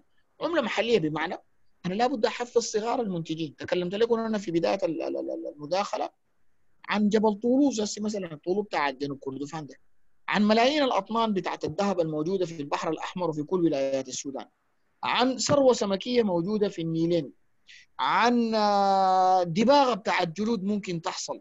عن زراعة سريعة بتاعت برسيم أو بتاعت فواء أو حاجات زي دي. دي كلها أنا لازم أستقطب الكتلة النقدية خارج النظام المصرفي سواء كان بطباعة نقود أو بأي نوع من التحفيزات عشان ال ال ال الأموال المكتنزة خارج النظام المصرفي سواء كان في شكل عيني أو في شكل بتاع نقود أو الطبقات اللي تكلمت عنها دكتورة سبنا المستفيدة من كل تشوه في الاقتصاد تجي تدخل اموالها في البنوك تربحي وتحرك الفقراء. لابد تحت الحاجة دي. الكلام ده أنا ممكن أعمله بكتله نقدية. وطبعا لأنه السياسة النيوليبرالية اتخذها مع الوزير ضد الكلام ده عشان كده ما في زول يتكلم عن الإنتاج. لما سئل عن أنتوا عملتوا شنو عن الإنتاج؟ قال من البديهي إنه إحنا نتكلم عن الإنتاج. لا انت لازم تشتغل الكلام ده بالتوالي. ما هو يعني ما كان في في مشاريع وبحوث وتجارب. يعني ما كلام بتاعت أستاذ الجامعيين ساكت. عن التمويل الأصغر اتعمل. عن إدارة مخاطر التمويل الأصغر ونجح. التمويل الأصغر ليه يشتغل ركشات؟ ما يشتغل مثلا مصايد بتاعت أسماك. ما يشتغل معاصر بتاعت زيوت آآ آآ متوسطة السكيل. ما يشتغل مثلا فدادين بتاعت برسيم أو فدادين بتاعت مثلا أي سلعة يمكن أن تقلب بسرعة أو زراعة. أو أشتغل تمويل متوسط. ده أدخل فيه رجال الأعمال السودانيين أو تمويل كبير عشان أعمل استفادة من من الكتلة النقدية الموجودة ويحصل مضاعف بتاع استثمار. أنا تكلمت عنه آه قبال شوية. الاقتصاد آه الرقمي شركات ال startups بتاعت ال IT وغيره وغيره. دي كلها بتنمو بالتوالي بعد ما المستوى بتاع الإنتاج يحصل. أنت لو إنتاجك ده حصل دي كلها ال startups دي بتقوم. الريادة بتاعت الأعمال دي ما حاجات dependent functional في المستوى العام بتاع الفقر الليلة أنا قدر أيه من الصعوبة أعمل لي startup لو عملت لي startup مثلا لو business مبتدئ يعني أو متوسط الحجم لخضار طماطم أجيبه مثلا من الباقير عشان يجيبوا الخرطوم والباقير أصلا ما فيها زراعة أنا حكون ما قادر أعمل حاجة. وإذا أنا كان المواصلات ذاتها من الباقير لحد السوق السوق المحلي فيها إشكالات أنا ما حقدر فأنا لابد أبدأ ال value chain زي ما قال الدكتور سبنا من بدايتها اللي هو الإنتاج.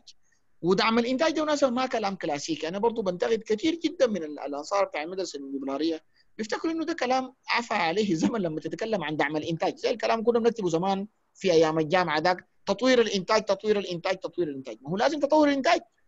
هو الاقتصاد بينمو كيف من غير إنتاج؟ أنت لو ما طورت الإنتاج ما بتصدر حتى لو صدرت سلعه خام في المرحلة دي ما سلعه مصنعة. عشان تجيب دولار عشان ترجع به البالانس بتاع الموازنه الميزان التجاري بتاعك.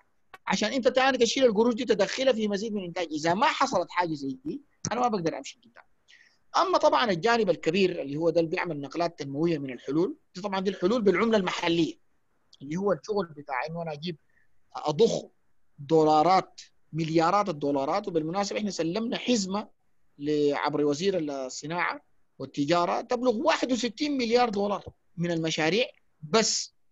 ناهيك عن مشاريع الطاقة والزراعة والصحة والتعليم اللي ممكن تكون ضعف الرقم ده. سلمناها ديل عشان يجوا خاشين عندك إشكال سياسي اللي هو رفع العقوبات. ودار له إشكال بتاع قدرات شخصية من وزير الخارجية رئيس الوزراء وزير المالية عشان يلقوا بدائل لأنه الوقوف في الصف بتاع الصندوق والبنك الدولي ده بالمناسبة عامل زي صف البنزين. انت حتجيب صف طويل جدا وفترة طويلة. يعني ما نفتكر إنه لو رفعوا العقوبات الأمريكان بعد بكرة بعد بكرة بعد ثلاثة يوم حتجينا 91 مليار دولار خاشه في مفاصل الاقتصاد طوالي لا لازم المشاريع دي تمشي تتقيم والتقييم ده بياخذ من سنة لسنة ونص ولا بد يكون في شروط ضخمة ومهينة جدا حتقابلنا عشان يضغطونا نبيع مواردنا بأرخص الأسعار. وهم يجوا خاشين عشان يقوموا يقتلوا لك الشركات ال startups اللي بنتكلم عنها الصغيرة دي شركاتهم كبيرة تجي خاش في تفاصيل كبيرة جدا إذا ما وعينا لها نحن الآن وإذا ما لعبنا باستراتيجية عددنا من محاورنا وبقينا ناس بنلعب بالكروت بتاعت مواردنا ونثق في مواردنا أعتقد إحنا حنرتهن وحنكرر نرتهن للصندوق والبنك وما حننفك عنه بسهولة. جزء من الحلول بتاعت الإيرادات طبعا أنا لازم أزيد الإيرادات يعني الحلول إنه أنا أزيد الإيرادات. المشكلة اللي تكلمت عنها وعضدتها دكتورة سبنا اللي هو الجيش. أنا الجيش ده هو ما في حل.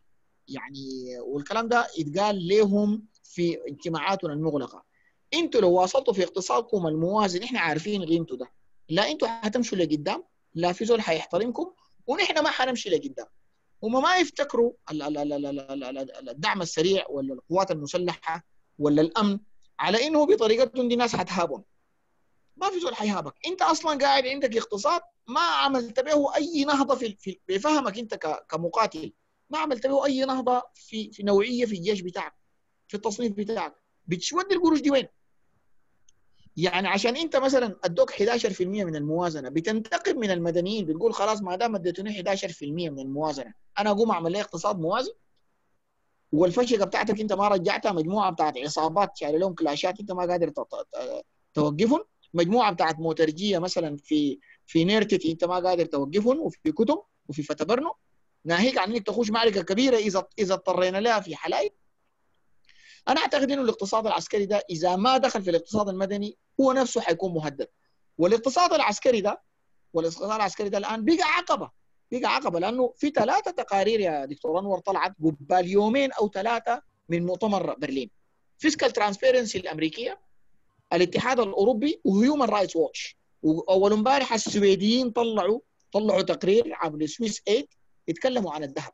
كل الشركات اتكلمت عن إنه لو ما الاقتصاد العسكري was incorporated في الاقتصاد المدني وبقى تحت عيونهم ما بزول حيديكم قروش. دي واحدة من الأسباب اللي خلت المانحين يكونوا شحيحين جدا أصدقاء السودان يكونوا شحيحين جدا في مؤتمر برلين. وهم مستغربين فعلا إذا كان أنت عامل لك محفظة ب 2 مليار دولار محفظة للسلع الاستراتيجية 2 مليار دولار جبتها من وين؟ اللي هو ده العجز بتاع موازنتك أنت عامل 2 مليار دولار تقريبا إذا أنت عندك قروش دي محتاج في شنو؟ نص ال 2 مليار دولار دافع على الدعم السريع هل نحن سألنا روحنا ال 70000 مقاتل بتاع حميتي ديل قاعدين يأكلوا وبيشربوا من وين؟ 70000 مقاتل برا الموازنة قاعدين يأكلوا ويشربوا من وين؟ دي أسئلة نحن لو ما قدرنا نجاوبها لو ما رئيس الوزراء بقى من القوة بمكان وخاطبها ووصل إلى تفاوضات وأمر حاسم إحنا بالمناسبة لا حنمشي لقدام في الانتقالية ولا حنمشي قدام في الفترة الديمقراطية ولا حنلقى قروش من المانحين. ما حن... ما حنحتاج على ثقتهم. آه الشركات الحكومية. الآن أنا عندي يا دكتور أنور شهريا عندي 600 مليون دولار تقريبا. لازم أنا اوفرها عشان اعمل بها شنو؟ بشتري بها قمح بشتري بها محروقات جاز أو بنزين. بسد بها العجز بتاع الانتاج المحلي بشتري بها أدوية. وبشتري بها بعض السلع الاستهلاكية منخفضه المرونة زي الزيوت والحاجات دي. ال 600 مليون دولار دي أنا قاعد اشحدها هسه وبباصرها مباشرة. لو عملت لي شركات حكومية شركات حكومية بتصدر لي الزيت وبتصدر لي القطن وفاعل الدور بتاع الشركة السودانية للتعدين وأعمل لي شركات حكومية بتصدر لي لحوم حية أو لحوم مذبوحة ومحاصيل أنا ببدأ براكن في دولار بتاع كرامة ليه؟ لأن الشركات الحكومية دي بتجيب الدولار من الصادر من بور السودان بتدخله لبنك السودان. الشركات بتاعت القطاع الخاص دي سواء كان شركات الدعم السريع ولا الجيش ولا زادنا ولا الاتجاهات ولا مصدرين القطن بيشيلوا دولارهم بودوه في دبي لأنه ده حقهم. بيشيلوا دولارهم بودوه في جوانزو. ده حقهم. مهما أنا عملت له من إجراءات بتاعت أو تسهيلات وكذا يجيبوا لنا عايد الصادر والله برجعوا لكم. ما في زول بيثق فيك لأنك أنت ذاتك هم شايفينك أنت كحكومة شايفين اقتصادك قاعد يمشي برا. قاعد يمشي برا. الليلة الدعم السريع. شركاته آه أوكي. آه آه، أوكي. فهمت آه، الدعم السريع بنوك ال- الأرصدة بتاعته قاعدة في الخليج. نعم. الدولارات تقارير خاشة من من جلوبال ويتنس عن العربات موجودة. يعني هم- نعم. هم هم بيفتكروا العالم ده يعني ما بشوف ولا بيفتكروا العالم ده ساذج وبسيط زينا نحن السودانيين الغضج ديل لا الناس دي شايفه أي حاجة. فلا بد الكلام ده يتوصل إذا كان زي ما قالت ال- ال- ال- عضو الكونغرس الأمريكي ان let them make him understand. بيتكلم عن حميتي. لازم يفهموه. يفهموا إنه أنتوا الناس شايفاكم بتعمل في شنو فإذا إن الاقتصاد ده ما خش عندنا نحن نحن بالمناسبة آه، يعني ما حنمشي قدام. ودي معركة أنا بس دائما بسميها في التحاليل أنا بقدمها وفي صفحتي اسمها المعركة المؤجلة أو المتفاداة. يعني. المدنية. آه يعني الناس بتحاول تأجل المعركة دي. أنت لما تأجل المعركة للديمقراطيه تفتكر إنك حت- حتحلها مثلا؟ دي معركة بتخوضها إنت الآن في كحكومة تملق برضه من بعض السياسيين للدعم السريع وكده. دي حاجة مستغربة. يعني الدعم السريع يفترض إنه يكون ابولوجيتك إنه كان واحد من الأزرع الأزرع ومخالب القط بتاعت نظام البشير يعني هو يتعامل وارتكب يعني فظائع مشكلة. و دي مشكلة كبيرة تلقى إنه في سياسيين عشان دايرين القروش لحل المشكلة الآنية بيعملوا قرار خطأ استراتيجي في إنه يا أخي المفروض كل حياتي تكون تحت الأمبريلا بتاعت الدولة، الدولة بتاعتنا نحن السودانيين، الأمة السودانية مش كده؟ نعم. دكتور حسام؟ نعم نعم طبعا دي دي طبعا دي ما دي اللي هو ده, ده التناقض يا دكتور أنور الحاصل إحنا مستغربين يعني. نعم. طيب آه حلول. سبنا؟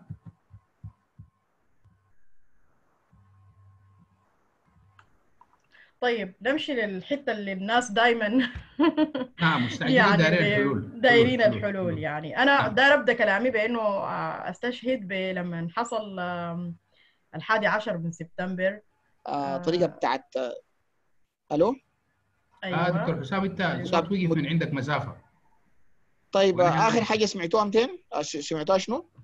آخر حاجة قلتها أنا ده بتاعت إنه الدعم السريع مفترض إنه يعتذر عن البلاوي أيوة. بتاعته بدل ما إنه السياسيين يمشوا يشكروه عشان ياخذوا منه شوية قريشات يمشوا بها امورهم أيوه نعم أنا فعلا الإنترنت زي قطعت عندي كده آه نعم. أنا أنا كنت قلت في ال- في ال- في الوقت ده قلت شنو على إنه هو ده ده دي, دي معركة مؤجلة ومتفاداة وواقع على عاتق رئيس الوزراء ووزير المالية والكابينة بتاعته.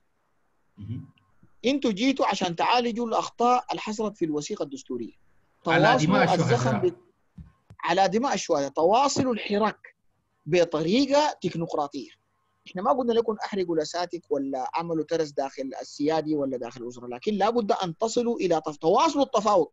تواصلوا التفاوض في مصلحة الجنيه الشعب السوداني عشان الجنيه السوداني يرتفع ترتفع قيمته. ما هم لا ي... لا يعقل إنه 500 ألف مقاتل يكونوا عايشين على 43 مليون إنسان. إحنا ما طلعنا من ال 300 أسرة بتاعت الكيزان جينا ل 500 ألف مقاتل وشوية الجنرالات اللي قاعدين فوق ده ودي مشكلة. ودي مشكلة بتعيق الاقتصاد السوداني وبتعيق التدفقات النقدية الأجنبية الآن وخدتوها لهم عديل ال- الجهات المانحة. قالت لهم اقتصادكم ده إذا أنتم ما دخلتوا فيه العساكر شفناهم إحنا بعيننا إحنا ما بنكون متشرفين نقف معكم. الملف العدلي واحدة من الحلول الملف العدلي هيومن رايتس ووتش تكلمت قبل يومين من مؤتمر برلين قالت ما حصلت أي اختراقات في الملف العدلي وفي انتهاكات كبيرة في حقوق الإنسان ونحن بنوصي بمراعاة الملف ده آه، مع آه، قبال آه، قبال التهور في مد السودان بأي نوع من من الدعم سواء كان النقدي أو العيني. آه، البحث عن تمويل خارجي بالتوازي مع مع مع اللي إحنا بنعمله هسه مع مع النيو ليبرالية يعني زي ما قلت لك يا دكتور انور الجكة بتاعت الناس دي طويلة جدا يعني مم. جكة الصندوق والبنك والمانحين دي قصة طويلة خالص الناس دي ما عاد بالذات مع السودان يعني إحنا ما زي مصر وزي الأرجنتين وزي صربيا ولا الدول ولا البرازيل اللي لقت دعم السودان ده إشكال كبير جدا بالنسبة لهم لأنه استراتيجي. فيه موارد ضخمة فيه مشكلة بتاعت موية أمن إسرائيل ال- المنفذ لأفريقيا خايفين من الصين خايفين من روسيا فلا بد تحصل نوع من اللكلكه فيه فبالتالي أنا ما ممكن أربع يديني أكون مستني الناس دي عشان يعطفوا علي وأنا عندي 43 مليون فاتحين خشوم يعني. أكون شغال بطبع في القروش. Let's find alternatives. عندك آه، الصين دي اشتغلت عملت شغل ضخم جدا في السودان بتاع البترول إشكاله كان فساد الكيزان دايرين من الكيزان مليارات الدولارات. طيب ما في مشكلة. لم القديم مع الجديد وتعال اشتغل معه.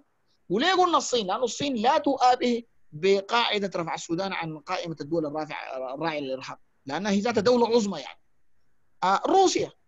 روسيا بحسها مع اشكالات السياسية الكبيرة مع الأمريكان. أعتقد إنه إحنا ممكن برضه نشتغل معه.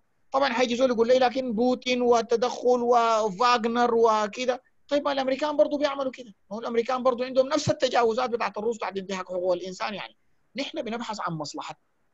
نحن بالضبط السودان اولا. بالمشي بالتوازي في الاتجاه النيوليبرالي الأسي بتحاول الحكومة إنها تمشي فيه مع انتقادنا له. لكن أنا بتكلم متماهيا مع الأيديولوجيا اللي هسه بتحاول تمر.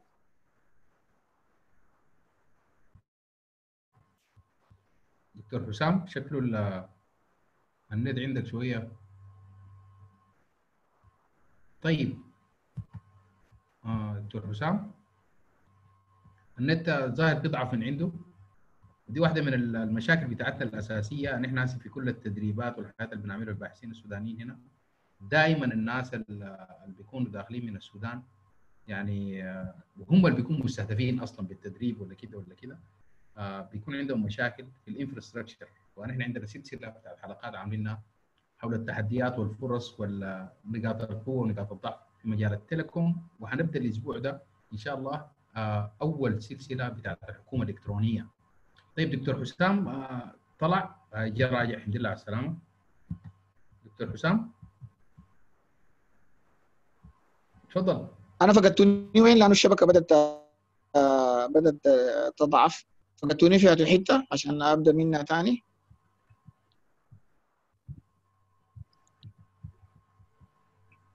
ألو؟ أيوه نعم أنا ذاتي والله فقدت الحتة اللي أنت وقفت فيها. لو في سبنا طيب. تذكري سبنا أو دكتورة نعمة. أيوه انه انه انه إنه الموضوع حياخذ زمن بتاع إنك أيوة. تاخذ هنا وين حقه نتعامل مع روسيا ونتعامل مع الصين ونتعامل مع أي زول لأنه مصلحة السودان اولا. أول حاجة. أو حتى to to involve south south cooperation يعني الدول اللي ما بتخاف أو عندها say على الأمريكان. من الدول اللي كانت دول آه، متخلفة ونمت لقدام زي البرازيل زي كده إحنا برضه ممكن نتعاون معاه في خبراتها ونستفيد. ونجيب في صف الصندوق ما في مشكلة يعني ما هو نحن لازم ننفتح على العالم يعني زي ما تكلم الدكتور. ناس إحنا بقينا في كماشة. إحنا لابد يعني نتعامل مع العالم لكن لابد أن نوصل رسالة إلى العالم على إنه نحن ما تبع زول.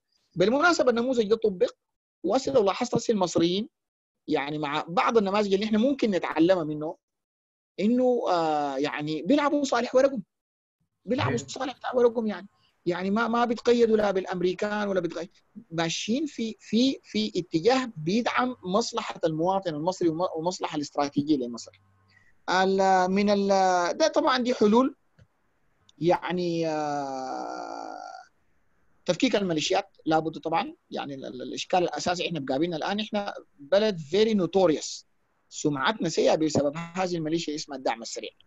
لا قادرين نحن ندخلها في الجيش وخاتمنا نحن رمانه كده عشان ال- الإسلاميين بتاعنا الجيش ما يعملوا انقلاب وهي نفسها في نفس الوقت حاميانا من التدفقات بتاعت القروش ويتعاملوا معنا كدولة محترمة وهو في نفسه ذاته حميتي عنده مطامع بتاعت سلطة.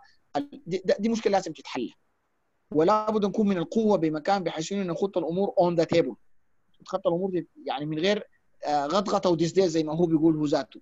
لأنه إذا نحن ما حلينا الموضوع ده نحن ما بالمناسبة ما حنلقى قروش. يعني الناس دي إحنا ما ال- ال- الخواجات دي ما بالبساطة اللي إحنا بنفتكرها يعني. متوقعين هسه مؤتمر باريس يجينا يدينا 10 مليار ساكن ما تكون 10 مليار ساكن لابد يكون في شروط. غير الشروط بتاعت ال- ال- ال neo ليبراليه ذاتها في شروط تتعلق بالعدالة وتتعلق بالوضع بتاع ال- الوضع غير المفهوم. بتاع الميليشيات دي. آه مزيد من النقاط في المؤتمر الاقتصادي. أنا حقيقة حريص أروج للمؤتمر الاقتصادي لأنه في عقول وفي حلول ذكية حتتقدم ويعني آه، خارج آه، يعني آه، خارج الصندوق. يعني الحلول اللي أنا قلتها دي اللي هي الخمسة ولا ست حلول بتاعت ايقاف التضخم تحفيز الإنتاج العملة المحلية البدائل الإيرادات دي حلول ممكن يتكلم عنها أي زول. ودي دي guidelines ممكن تطلع منها عدد من ال من ال من, ال من الخطوط.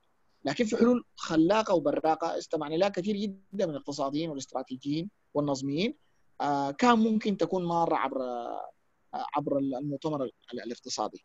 فكده أنا بفتكر ده نموذج idiosyncratic ممتاز. لا طيب. معنى فيه ليبراليه ولا بشرنا فيه باشتراكية ولا ده, ده نموذج صالح ورق آه، السودان. وده بإجازة وشكرا لكم شكرا جزيلا دكتور حسام. طيب سبنا الحلول. طيب جينا للحتة ال- يعني بركزوا عليها الناس. وأنا حابدأ من حاجتين اثنين اللي هي استعجال الناس للحلول. آه، حاجة طبعا مفهومة جيفن الوضع الاقتصادي اللي له سنين طويلة. لكن المهم أنا هنا بستشهد ب آه، بكلمة جورج بوش لما حصلت الحادي عشر من سبتمبر وأعلنوا الحرب على الإرهاب. هو قال إنه إنه الشعب لازم يستعد لأنه دي حتكون رحلة طويلة. يعني it's not going to be a, a day and a night issue زي ما بيقول. يعني it's a, it's a very long journey that we are going to go. Um, حتكون صعبة في مراحل وسهلة في مراحل. الاقتصاد السوداني ده ما حيصل الحتة اللي إحنا كلنا يعني كده بنحلم بها uh, في وقت قريب يعني. لكن uh, لازم تكون في vision يعني لازم إحنا looking 50 years from uh, from now تكون عندنا vision واضحة للاقتصاد السوداني ده إنه نحن عاوزين نشوف الاقتصاد السوداني شنو بعد 50 سنة. ال vision دي آه، لازم تكون عابرة للحكومات ولازم تكون عابرة لأي حاجة. يعني آه، حتى الأداء ال- الاقتصادي أو الأداء السياسي لأي حكومة يكون بيتقيم إنه أنت مشيت قدر شنو في الخطة الخمسينية دي. أو في ال vision عشان ما نقول خطة والناس تفهم برضو إنه ده مسألة ماركسية أو شيوعية أو حاجة زي كده لكن بقصد إنه يكون في فيجن في هدف مخطوط واضح إنه ال GDP بتاعنا يكون كده إنه اقتصادنا يكون منتج نوع معين من السلع تتخطى رؤية متكاملة إنه يكون في اقتصاد آه، مندمج في الاقتصاد العالمي عنده حضور في ال global value chain دي مثلا vision كده ممكن ناخدها. ال vision ده عشان تتحقق إحنا أنا كل الكلام اللي قلته قبالك كان عشان أصل للحتة دي يعني عشان إنه الناس لما أنا أقول كلام بعد كده الناس تفهمه في الحلول. أول معوق في ال vision دي أو في إنه الاقتصاد السوداني ده ينهض آه، هي المسألة زي ما أنا قلت بتاعت هيكل الدولة السودانية. طيب هيكل الدولة السودانية نعمل فيه شنو إحنا تكلمنا عن كل عيوبه. بنعمل فيه شنو الدكتور حمدوك أول ما جاء هو تكلم his mind يعني he speaks his mind وهو قام قال إنه نحن مفروض نجي بعقل مفتوح لكيف يحكم السودان. لكنه تحدث عن الخيارين بين النظام الجمهوري والبرلماني. آه، أنا شخصيا بحب أمشي further بحب أخرج خارج الصندوق even more يعني بشوف two possible scenarios. يعني أنا لما ذكرت إنه آه، عمقنا الاقتصادي أو ال capacity الاقتصادية بتاعتنا موجودة في أماكن النزاع وذكرنا إنه النزاع ده عنده نتيجة هو لل لل social ethnical political and economic polarization يعني نحن دولة مستقطبة من في كل الحاجات دي. وكل العوامل السياسية والاقتصادية والتاريخية عمقت ال polarization ده وحقت بقته أكبر زي ما ذكر ال- الدكتور حتى إن هي manifest itself في حكاية إنه الحركات بتتوالد بقت والأحزاب بتتولد زي ما ذكرت أنت دكتور أنور يعني أذكر فعلا التوالد ده. ف how can we restructure الدولة السودانية كده في الأول؟ عشان هي دي الأرضية اللي إحنا حنبني عليها كل شيء. we have two scenarios إما إنه نحن ندير اقتصاد مغلق. بمعنى إنه الاقتصاد السوداني ده لمدة عشر سنوات من الآن ما يفكر في إنه هو زي ما أنا قلت قبل ينافس برا. ما يفكر في حاجة زي دي. إحنا عندنا دولة كبيرة دولة جغرافيا كبيرة جدا جدا دولة زي ما ذكر الدكتور عندها موارد ضخمة. إحنا نقفل الاقتصاد ده نغلقه. يعني to slow down مش يعني ننعزل عن العالم لكن to slow down ال engagement بتاعنا مع العالم. يعني يعني نبطئ. واصلا إحنا وجودنا في ال value chain ما كبير لكن نبطئ أكثر إحنا مشكلتنا بنتبنى سياسات اقتصادية حق الدولة عندها وجود وحضور كبير في ال... في الاقتصاد الدولي. ونحن ما عندنا هذا الحضور حقيقة.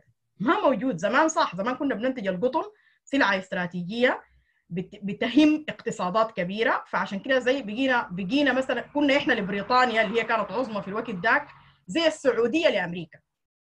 زي ما أمريكا بتحتاج السعودية عشان النفط كانت بريطانيا محتاجة لنا عشان القطن لمصلحتها. هي لكن في حقيقة الأمر نحن لما انتهى دور النفط دور ال- القطن ده بقى وجودنا في ال value chain من عدمه ما مهم. يعني إحنا ما الصين.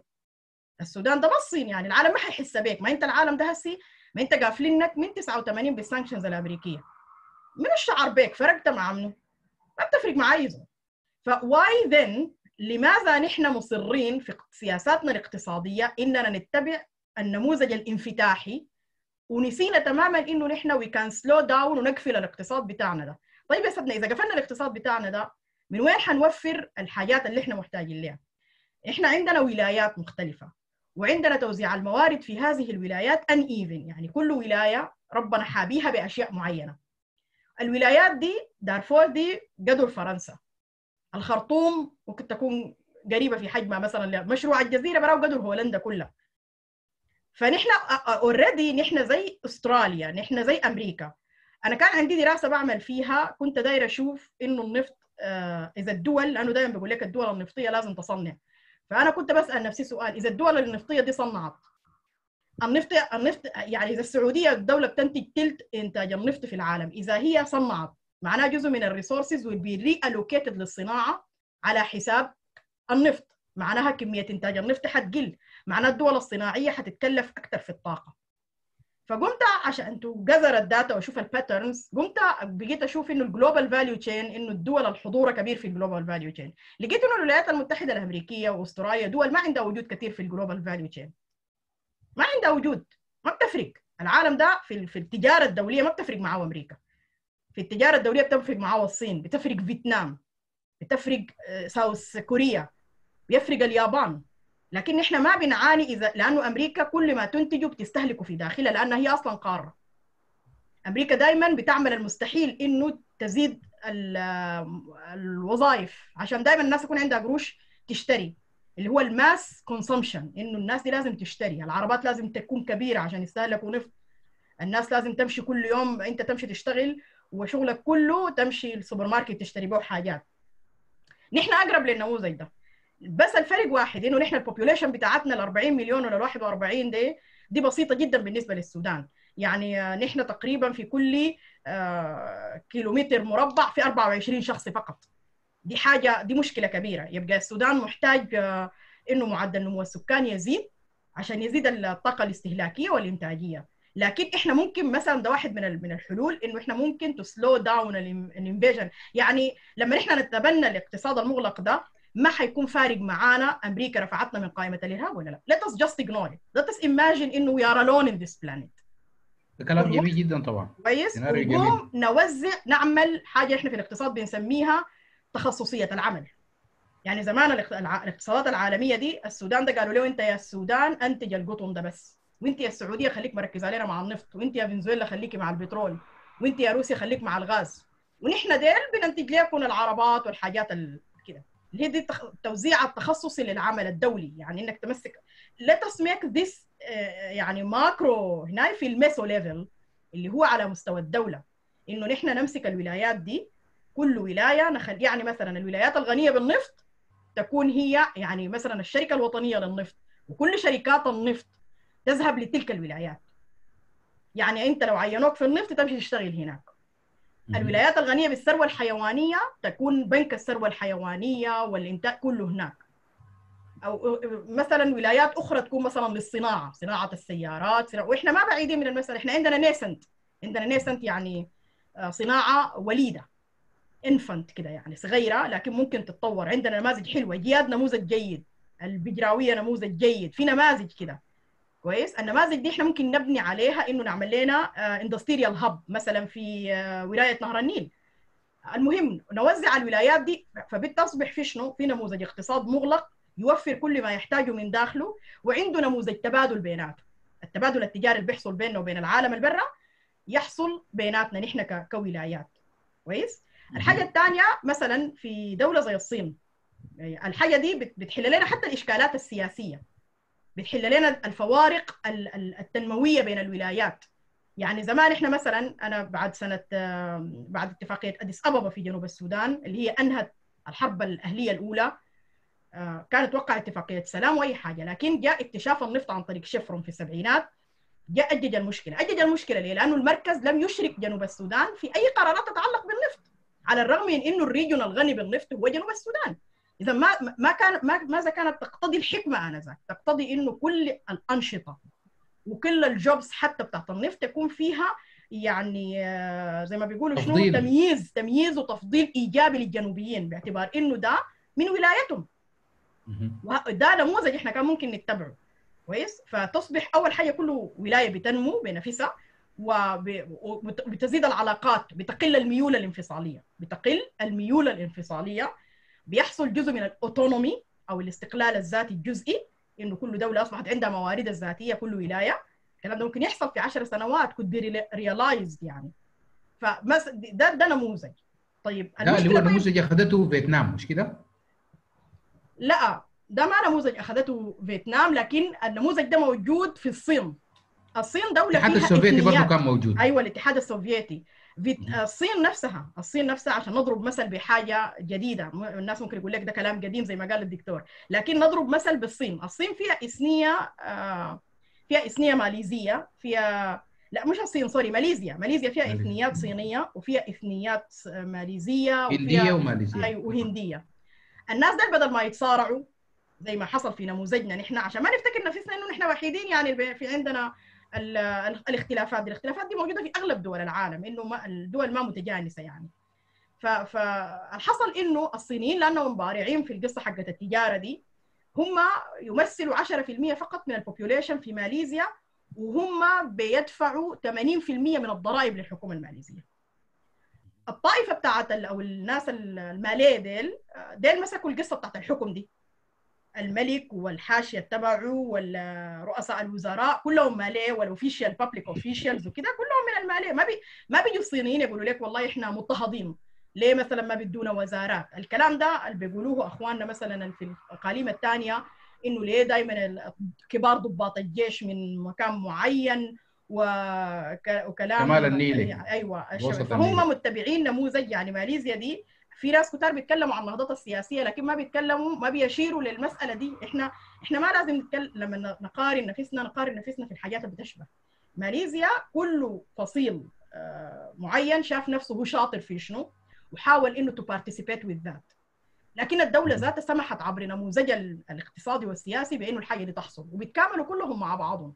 ممتاز. ده نموذج ده ده نموذج. ده نموذج واحد إحنا ممكن نتبعه لمدة 10 سنوات ده نكفي الحل الأول. نقفل البلد. طيب إذا قفلنا البلد آه، في مشكلة ثانية مشكلة الريع ده. أنت قلتي إنه في دولة مصالح متجذره دي نحلها كيف؟ يعني يعني نحلها كيف مثلا؟ نحل كيف مشكلة الدولة المصالح المتجذره الريعية الحريصة على القصة حقت الدين دي؟ إنه. الدين ده لازم يكون موجود في معاش الناس وبتاع وبتاع لأنه مش حبا في الدين اجين بقدر ما إنه جزء من من من مكونات الدولة الريعية القصة الدينية دي إنه أنت ما بتحكم الناس بس بالاقتصاد بتحكم الناس بالاقتصاد والسياسة والدين. الثلاث حاجات دي ضد أساسيات الدولة الريعية. عشان الناس بيقول لك مرات بي- بينظروا لموضوع نقاش الدين والدولة في السودان إنه هو برضه نقاش فلسفي كده أو ديني بحت. لا هو نقاش اقتصادي. وأنا زي ما بيقولوا الفرنسيين شغلة فام أنا بقول دايما شغلة لو يعني أبحث عن المراه الاقتصاد ابحث عن الاقتصاد. ابحث عن الاقتصاد في الأشياء. ف... فم... فالنقاش الديني الديبيت اللي حصل قبل أيام ده والناس الطلبه دي القوانين وإلى آخره دي ما قصة الدين. دي أصلا هي قصة ودي حتى الإسلاميين نفسهم لا يعلمون ذلك لأنهم ما عندهم ال... هم ما هم ذاتهم مغيبين دينيا. هم بيفتكروا إنه فعلا في صراع في هذا العالم بين الإسلام والمسيحية والديانات دي أصلا كلها أقرب ما تكون إلى بعض. هو لا يوجد صراع بين الديانات هو في الواقع صراع حول الاقتصاد والدولة الريعية ما بتقدر تستغنى عن الاقتصاد ما بتقدر تستغنى عن الدين ما بتقدر يعني عشان كده بتلقى إنه سبحان الله على الرغم إن إحنا أذلنا البشير لما لما الناس ديل مثلا في جنوب في النيل الأزرق يقولوا إحنا دايرين السودان ده يكون دولة علمانية بتجي أحزاب هي محسوبة على ال- على الليبرالية واليسارية واللي نعم بيقول لك لا ما أنت لازم هنا لازم تسأل نفسك ليه؟ ليه؟ أنا ما فاهمة إنه الكيزان ديل مثلا أو الإسلاميين بصفة عامة أو المحافظين في السودان، المحافظين including حتى حزب الأمة وال وال السيد صادق ما بيقدر يقف قدام الناس ويقول لهم أنا علماني هو بيحاول طبعا يلبسها حاجات يلطفها. بمدنية وبتاع أيوه يقول لك إحنا ما العقد الاجتماعي وعنده الجديد اجتهاداته ده. حتى الفكرية بالمناسبة. عنده اجتهادات هو حاول لكن هي can not say it literally كده وبطريقة يعني واضحة إنه هو ما بيفقد. طوال الشرعيه بتاعته بالضبط طيب. كده لأنه هي دي أحزاب إسلامية. والغرب بالمناسبة يعني إحنا واحدة برضو من إشكالاتنا إنه الغرب يعلمون ذلك. عشان كده لما جات حكومات الصادق المهدي المتعاقبة ما دعموها. دائما يتركونه يسقط. أنا بقول كده دائما بيتركونه يسقط. ليه ماذا يتركونه يسقط؟ لأنهم هم حاسبينه إسلامي. هم ما بيشوفوا إنه في فرق كبير بين انصار السنة والأخوان المسلمين وحزب الأمة والاتحاد اختلاف بتاع. درجة ليس اختلاف اختلاف نوع. درجة ولا اختلاف نوع. وهم بيرفضوا كافة هذه الأشكال من ال من ال المعسكر ده كله بيرفضوه بيمثل مقدار رفضهم للراديكالية الشيوعية. هم دايرين دولة لا دينية. بيفتكروا إنه أو دولة لا أيديولوجية عشان ما نضغط على الدين. كويس؟ فأنت دي واحدة من ال من ال من الحاجات الثانية اللي إحنا المفروض نتكلم فيها. طيب نحل المشكلة دي كيف؟ السودانيين ناس متدينين؟ والقصة دي برضو كده أنت بتقدر تقلعها من السودانيين. دي برضو إشكالية. what can we do طيب في نموذج. في نموذج إحنا ممكن نطرحه كفكرة. وأنا عندي paper برضو شغالة فيها في الموضوع ده. أنا قمت عملت جبت ال GDP بتاع كل الدول اللي في العالم وقارنته الأنمذة النماذج sorry السياسية. فاكتشفت إنه بعد يعني أقل من من من threshold معين لل GDP أنت ما مؤهل تبقى جمهورية. انت ما مؤهل تكون دولة جمهورية. انت لازم تكون دولة ملكية أو تكون تحت تاج.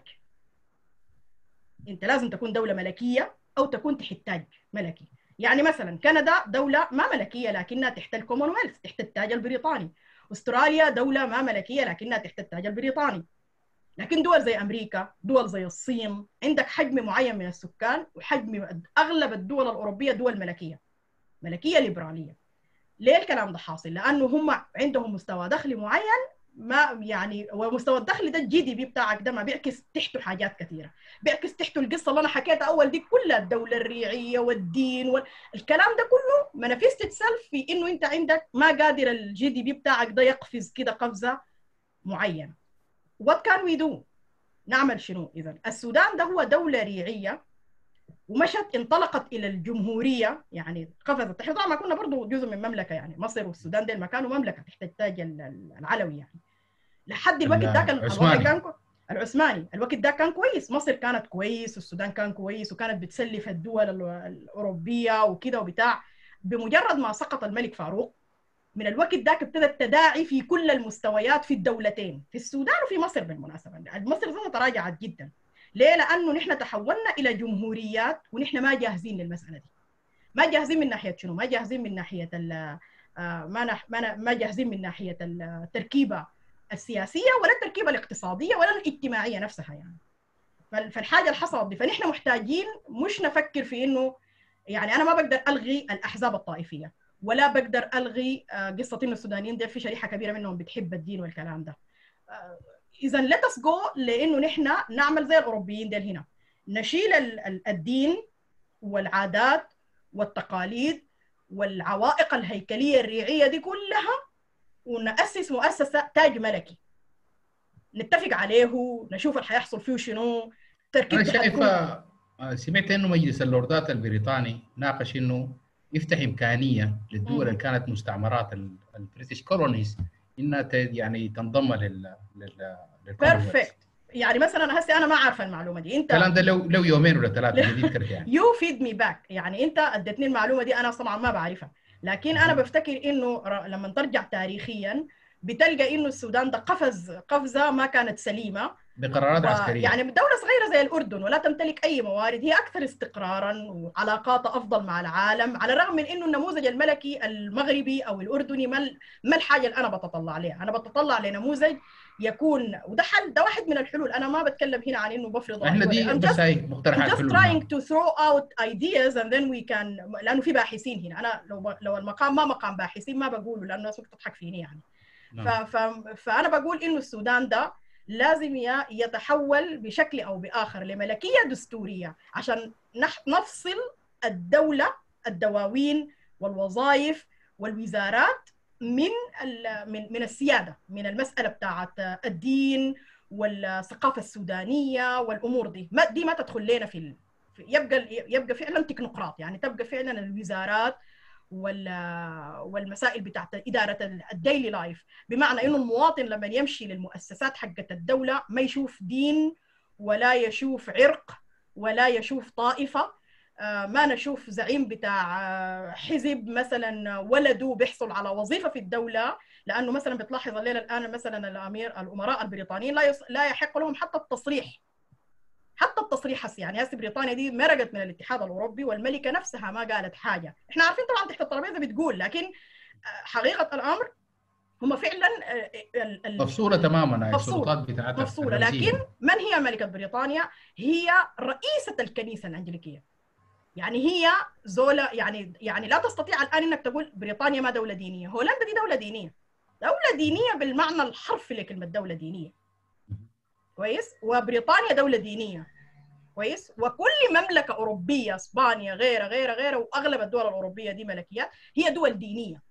مش دول ما فيها فصل الدين عن الدولة، لكن عملوا ده كوم براو الملك والحاشية اللي هي الأسر اللي أنا سميتها دول المصالح المتجذرة وحتى الجيش نفسه الجيش ملكي يقول لك الجيش الملكي الأردني الجيش الملكي البريطاني فالجيش ذاته شنو بعيد من من من السياسة. أما السياسة دي دي بقى شغله التكنوقراط والناس اللي زينا كده والناس ال... ديل هم يديروا دولتهم. أنت هسه لما تمشي في هولندا دي ما بتشوف الملك أصله بتشوفه في المناسبات حق الملكية نفسها. لكن الشخص ال key person هو روتا رئيس الوزراء. هو من يدير الدولة هو من يقرر في مصير الدولة وده شخص ما بيقدر هو تقول عليه أي لون أو شكل ديني مع أنه في نفسه ممكن يكون شخص متدين. ده واحد من الحلول ذات we need to push وأنا بحاول من جانبي كاقتصادية أنه أنا to prove it through أني أنا أقول أنه أنت ما لم تصل لليفل معين من الثروة يعني لا يصح أنك تكون جمهورية. السياسيين ممكن يكون عندهم باع القانونيين برضه ممكن يكون عندهم باع. ده واحد من الحلول لإشكاليات آه أنا زي الدوري الدوري بتاع الكورة. يعني أيوة. في, في الروابط والأندية والما أعرف شنو لحد ما تصل للدوري الممتاز. بالضبط. الحل الثاني دايرين نفضل جمهورية لازم ندي قدر من الحكم الذاتي لل... للولايات. بمعنى إنه إحنا طبعا عندنا ولايات يعني عندنا نظام فيدرالي لكن لسه الدولة مركزية.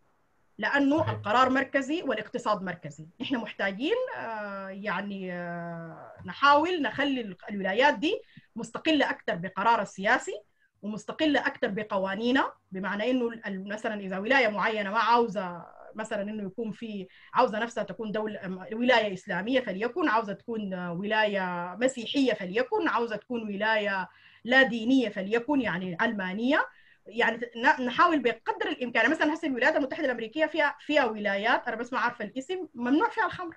هسه الليلة. صحيح صحيح. كاليفورنيا ما بتقدر تشرب كاليفورنيا. أنا عندي دراسة هنا بتاعت synthetic control method درست New Hampshire ايوا يوتا أيوه بتاعت كاليفورنيا دي. ال rednecks اللي هم يعني very conservative تكساس هناك في ال South حصلت فيها يعني اسمه شنو ده انتحارات جماعية لأنه القسيس قال لهم دي نهاية العالم والناس خلاص تموت. أيوه. الناس ماتت بصوره يعني في الحاجات دي موجودة. أنا موجودة. رميتي صخرة كبيرة جدا جدا في إنه الناس تعيد. التفكير في إنه يا إخواننا نحن ليه دايرين نمشي في حاجة احتمال ما بتنفع معانا. بالضبط بيذكرني تماما بالسلسلة بتاعت سيكولوجيه الزول السوداني. قدمها للأستاذ محمد جمال الدين وصلنا في الحلقة الخامسة. امبارح كان حلقة ممتازة جدا عن عن عدم تمثيل المرأة في أجهزة الحكم العليا في السودان. أيوة. في شنو في وراء الموضوع ده؟ وفي يعني تفاصيل كثيرة مترابطة. أنا طبعا سعيد جدا جدا النقاش ده يا إخواننا. ده أطول نقاش حصل لنا في الباحثين السودانيين ايفر ثلاثة ساعات. ما حصل قبل كده وصلنا ثلاثة ساعات. بالهناية ولسه الناس يعني بالمناسبة ثلاثة ساعات ولسه في أكثر من 300 نفر قاعدين بيتابعوا. آه عكس التوقع كان بتاع نعمة إنه الناس هيمشوا لأنه نعم. في في واحد هنا قال لي إنه أنا يمكن ما فهمني قال إنه إنه أنا الأوتونومي الحكم الذاتي لا يعني الانفصال ولكن يعني إنه نحن يعني مثلا المملكة الآن المتحدة إيرلندا واسكتلندا اسكتلندا يعني بيتمتعوا بحكم ذاتي كبير جدا جدا. قوى من روابطهم ك... لكن كلهم تحت التاج البريطاني. عشان كده أنا أنا يعني بديت بديت بهيكلية الدولة إنه نحن صح محتاجين لمؤتمر اقتصادي لكن قبل المؤتمر الاقتصادي ده نحن محتاجين قضايا الدولة السودانية ذاتها مش نجتمع ونناقشها لكن تركيبة الدولة السودانية جيفن الخبرة. إحنا بقينا خبرة إحنا ناس عندنا خبرة إحنا ناس عملنا خبرة في الفشل. وانفصلنا. أنا يعني ما بحب كلمه الفشل لكن بحب أقول إنه نحن عندنا الآن خبرة تراكمية جربنا حاجات كثيرة. منو غيرنا تجرب إنه مثلا الأخوان المسلمين يحكموا 30 سنة؟ ده ده ثراء. دي حاجة أنا بشوفها إيجابية. ده ثراء للتجربة السياسية السودانية. The question is how. How إنه نحن ممكن نشيل التجربة الثقيلة دي وده دورنا نحن بالذات كباحثين. أكبر عاتق في المسألة دي بقى على الباحثين. كويس؟ إنهم هم يقوموا يعني يعني يقوموا شنو يعني يشيلوا التجربة دي كلها ويطلع زي ما أنا فكرتها مثلا في البيبر بتاعتي دي يعني. نحاول نفكر تفكير خارج الصندوق ونحل المشكلة دي يعني. الحلول نمشي ده, ده بالنسبة لهيكل الدولة. أنا طرحت مقترحين. إما إنه نحن نتبع تاج ما أو إنه نحن نمشي في اتجاه إننا نكون ملكية دستورية آه لأنه ثبت إنه نحن فشلنا كجمهورية. لا فشلنا ليه؟ فشلنا لأنه آه انفصل الجنوب. اصله هو بعد ما انفصل الجنوب ده انت تاني ما داير لك أي دليل على إنه كل ما كان قبل 2011 غلط. اصله يعني خليني من الحديث الاقتصاد وغيره. كل ما سبق 2011 في تجربتنا السودانية منذ أن أصبحنا نيشن يعني بحدود 67 ولا بيقولوها دي ده كله غلط and we have we have to stand and revise everything. الشخصية السودانية زي ما قلت الدين والدولة وبشجاعة. يعني النقاش ده يكون بشجاعة وبعلمية ومنهجية وده دورنا كمثقفين ومتعلمين. ده ما دور ده ما دور الساسة ولا ده دو ده ده, ده debate لازم يحصل في جامعاتنا. لازم يكون عندنا مرحلة التنوير دي إنه نحن to to to discuss و to critique each other ونكتب أنت تكتب وأنا أعترض عليك وهكذا يعني. ف ف فدي دي حتة let's go ahead نمشي للاقتصاد. إحنا انتهينا من موضوع الدولة. وبتمنى إنه يكون في session ويكون في باحثين أتواصل معاهم في الحتة دي إنه نطرح new political structure لل Sudan nation يعني. طيب دكتور سبنا لو ال لو ال المقترح بتاع الجزء ال reform للاقتصاد ده لو كثير إحنا ممكن نخليه للسلسلة الجزء الثاني من النقاش على أساس إنه يبقى قابل الجزء الأول ده الثلاثة ساعات يكون قابل لأنه زول يحضر وكان follow up يجي يخش معانا على أساس إنه النقاش ده ممكن يكون يوم الأسبوع الأسبوع الجاي يوم السبت الجاي تكون الحلقة ممكن الثانية ممكن هي أنا بس أو ال highlight العام بس. بس الخطوط. العريضة نعم. أنا أول حاجة عاوز أقول إني أنا كنت ضدها هي حكاية ال 100 يوم دي. ما في مشكلة اقتصادية يعني بتتعالج في 100 يوم يعني ما يجي وزير مالية يقول لنا في ال 100 يوم الأولى أنا هعمل كده this is going to be very long journey very long journey. أول ح... كنا إحنا بنتمنى إنه الخمس سنين الأولى يدونا خمس سنين في الفترة الانتقالية عشان نبدأ في الخمس سنوات الأولى by the end of the five years نكون خلاص جهزنا الاقتصاد ده بال... بال... عالجنا الإشكالات الهيكلية دي. لكن آه، ما في حاجة اسمها ال 100 يوم الأولى. آه، الح... الحلول الإسعافية. شنو هي الح... الحلول؟ شورت ران وميد ران ولونج ران وحنسهب فيها في المرة الجاية. الحل الإسعافي الآن الآن الدولة دي ما فيها قروش. ما فيها قروش وأنا بمسك من الحتة اللي قالها الدكتور حسام الدين اللي هو قال إنه آه، شركاء ال- الفترة الانتقالية لابد يفهموا إنه نحن وصلنا dead point and we have already hit the wall. الدولة دي ما فيها قروش. حكاية إنه إحنا آه، ندخل في المعركة المؤجلة دي it's must. وشعبنا لازم يفهم الحتة دي. يعني يعني هي معركة آه، ايا كان وزير المالية القادم he has to go through it. إنه القصة بتاعت الذهب دي الذهب بيمثل 40% الآن من صادراتنا. يعني 40% من ال... من الدولار اللي بيجيك حيجيك من الذهب. القصة بتاعت الذهب دي لازم by any means straightforward لو في مشروع بتاع 100 يوم أولى القصة حقت الذهب دي لازم تدخل الخزينة بتاعت الدولة. ودي مسألة آه، سواء انها تحصل بال بإنه الناس ال- ال- شركائنا ديل يفهموا الكلام ده ويستوعبوه ويصلوا معنا ل compromise الحتة دي كمدنيين. أو كان قصدي بهم الجيش والقوات الأمنية وكده. أيوه بالظبط كده. الجيش والناس المسؤولين عن إنه الذهب ده بي- بيطلع برا السودان يعني. لأنه هو الآن أكثر حاجة ممكن آه، هو ما بديل للنفط لكن هو أكثر حاجة ممكن الآن تمرقنا من عنق الزجاجة. يعني أنت ما أنت الآن مخنوق كاقتصاد دي الحاجة لو في أي زول بيفتكر إنه في حاجة تانية غير الذهب ممكن تمرقنا من عنق الزجاجة في الوقت الراهن. in terms of إيرادات عشان يقيف التضخم ده ويقيف التدهور بتاع العملة فالكلام ده ما ما, ما حيحصل ما لم إنه الحكاية دي تحصل. واللي هي طبعا شركات الأمن والكلام ده يعني. لكن أنا well emphasize الحتة حقت الذهب دي لأنه هو بيجيب حسب ما طبعا المعلومات غير دقيقة. لكن الشيء اللي بنعرفه so far إنه بيمثل 40% وبيجيب له حاجة بتاعت 7 مليار. وافتكر انها بتصل ل 11 مليار مفروض في السنة. آه ال- الخطط في المدى المتوسط طبعا الزراعة لكن الزراعة ما من أجل الزراعة. إحنا ما ما وشدنت إنه إحنا بعد ده نزرع عشان نصدر حاجات زراعية أو حيوانات حية أو كلام زي ده لكن الآن إحنا ما عندنا حل غير إننا نزرع. يعني في الوقت الراهن ده في المدى المتوسط السودان ده لازم يكون دولة مركزة في الزراعة. وحنجي نتكلم إن شاء الله في المناسبة الثانية إنه. طيب نزرع كيف يعني.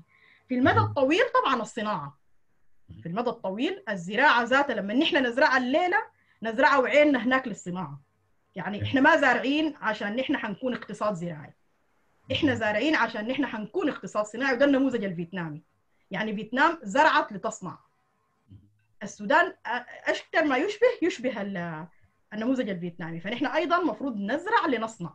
بمعنى إنه إحنا ودي ودي حاجة برضو في نظريات التنمية موجودة التنمية الاقتصادية إنه أنت ممكن تبدأ ك concentrated economy وبعدين تبقى diversified economy فدي ممكن آه. فيها بعد يعني. دكتور سبنا أيوه نعم. يا اخوانا في يعني حاجات كثيرة جدا مرتبطة بواقعنا المعاش اليومي. يعني محتاجة مننا إنه الناس تقعد في الوطاء وتسوي دي كانت السلسله الجلسة الأولى في سلسلة التقييم للوضع الاقتصادي والمقترحات للحلول. نشكر فيها دكتور أسامة الدين إسماعيل ودكتور سبنا علي على إنهم يعني قدموا كل التحليل وكل الحاجات. نشكر الدكتورة نعمة الله فاتح اللحيمر الزول الرائعة اللي هي جهزت الجلسة وحيكون عندنا الجزء الثاني إن شاء الله في خلال الأسبوع الجاي. شكرا جزيلا لكم وإن شاء الله نتواصل عبر مجموعة الباحثين. السلام عليكم ورحمة الله. وعليكم السلام ورحمة الله.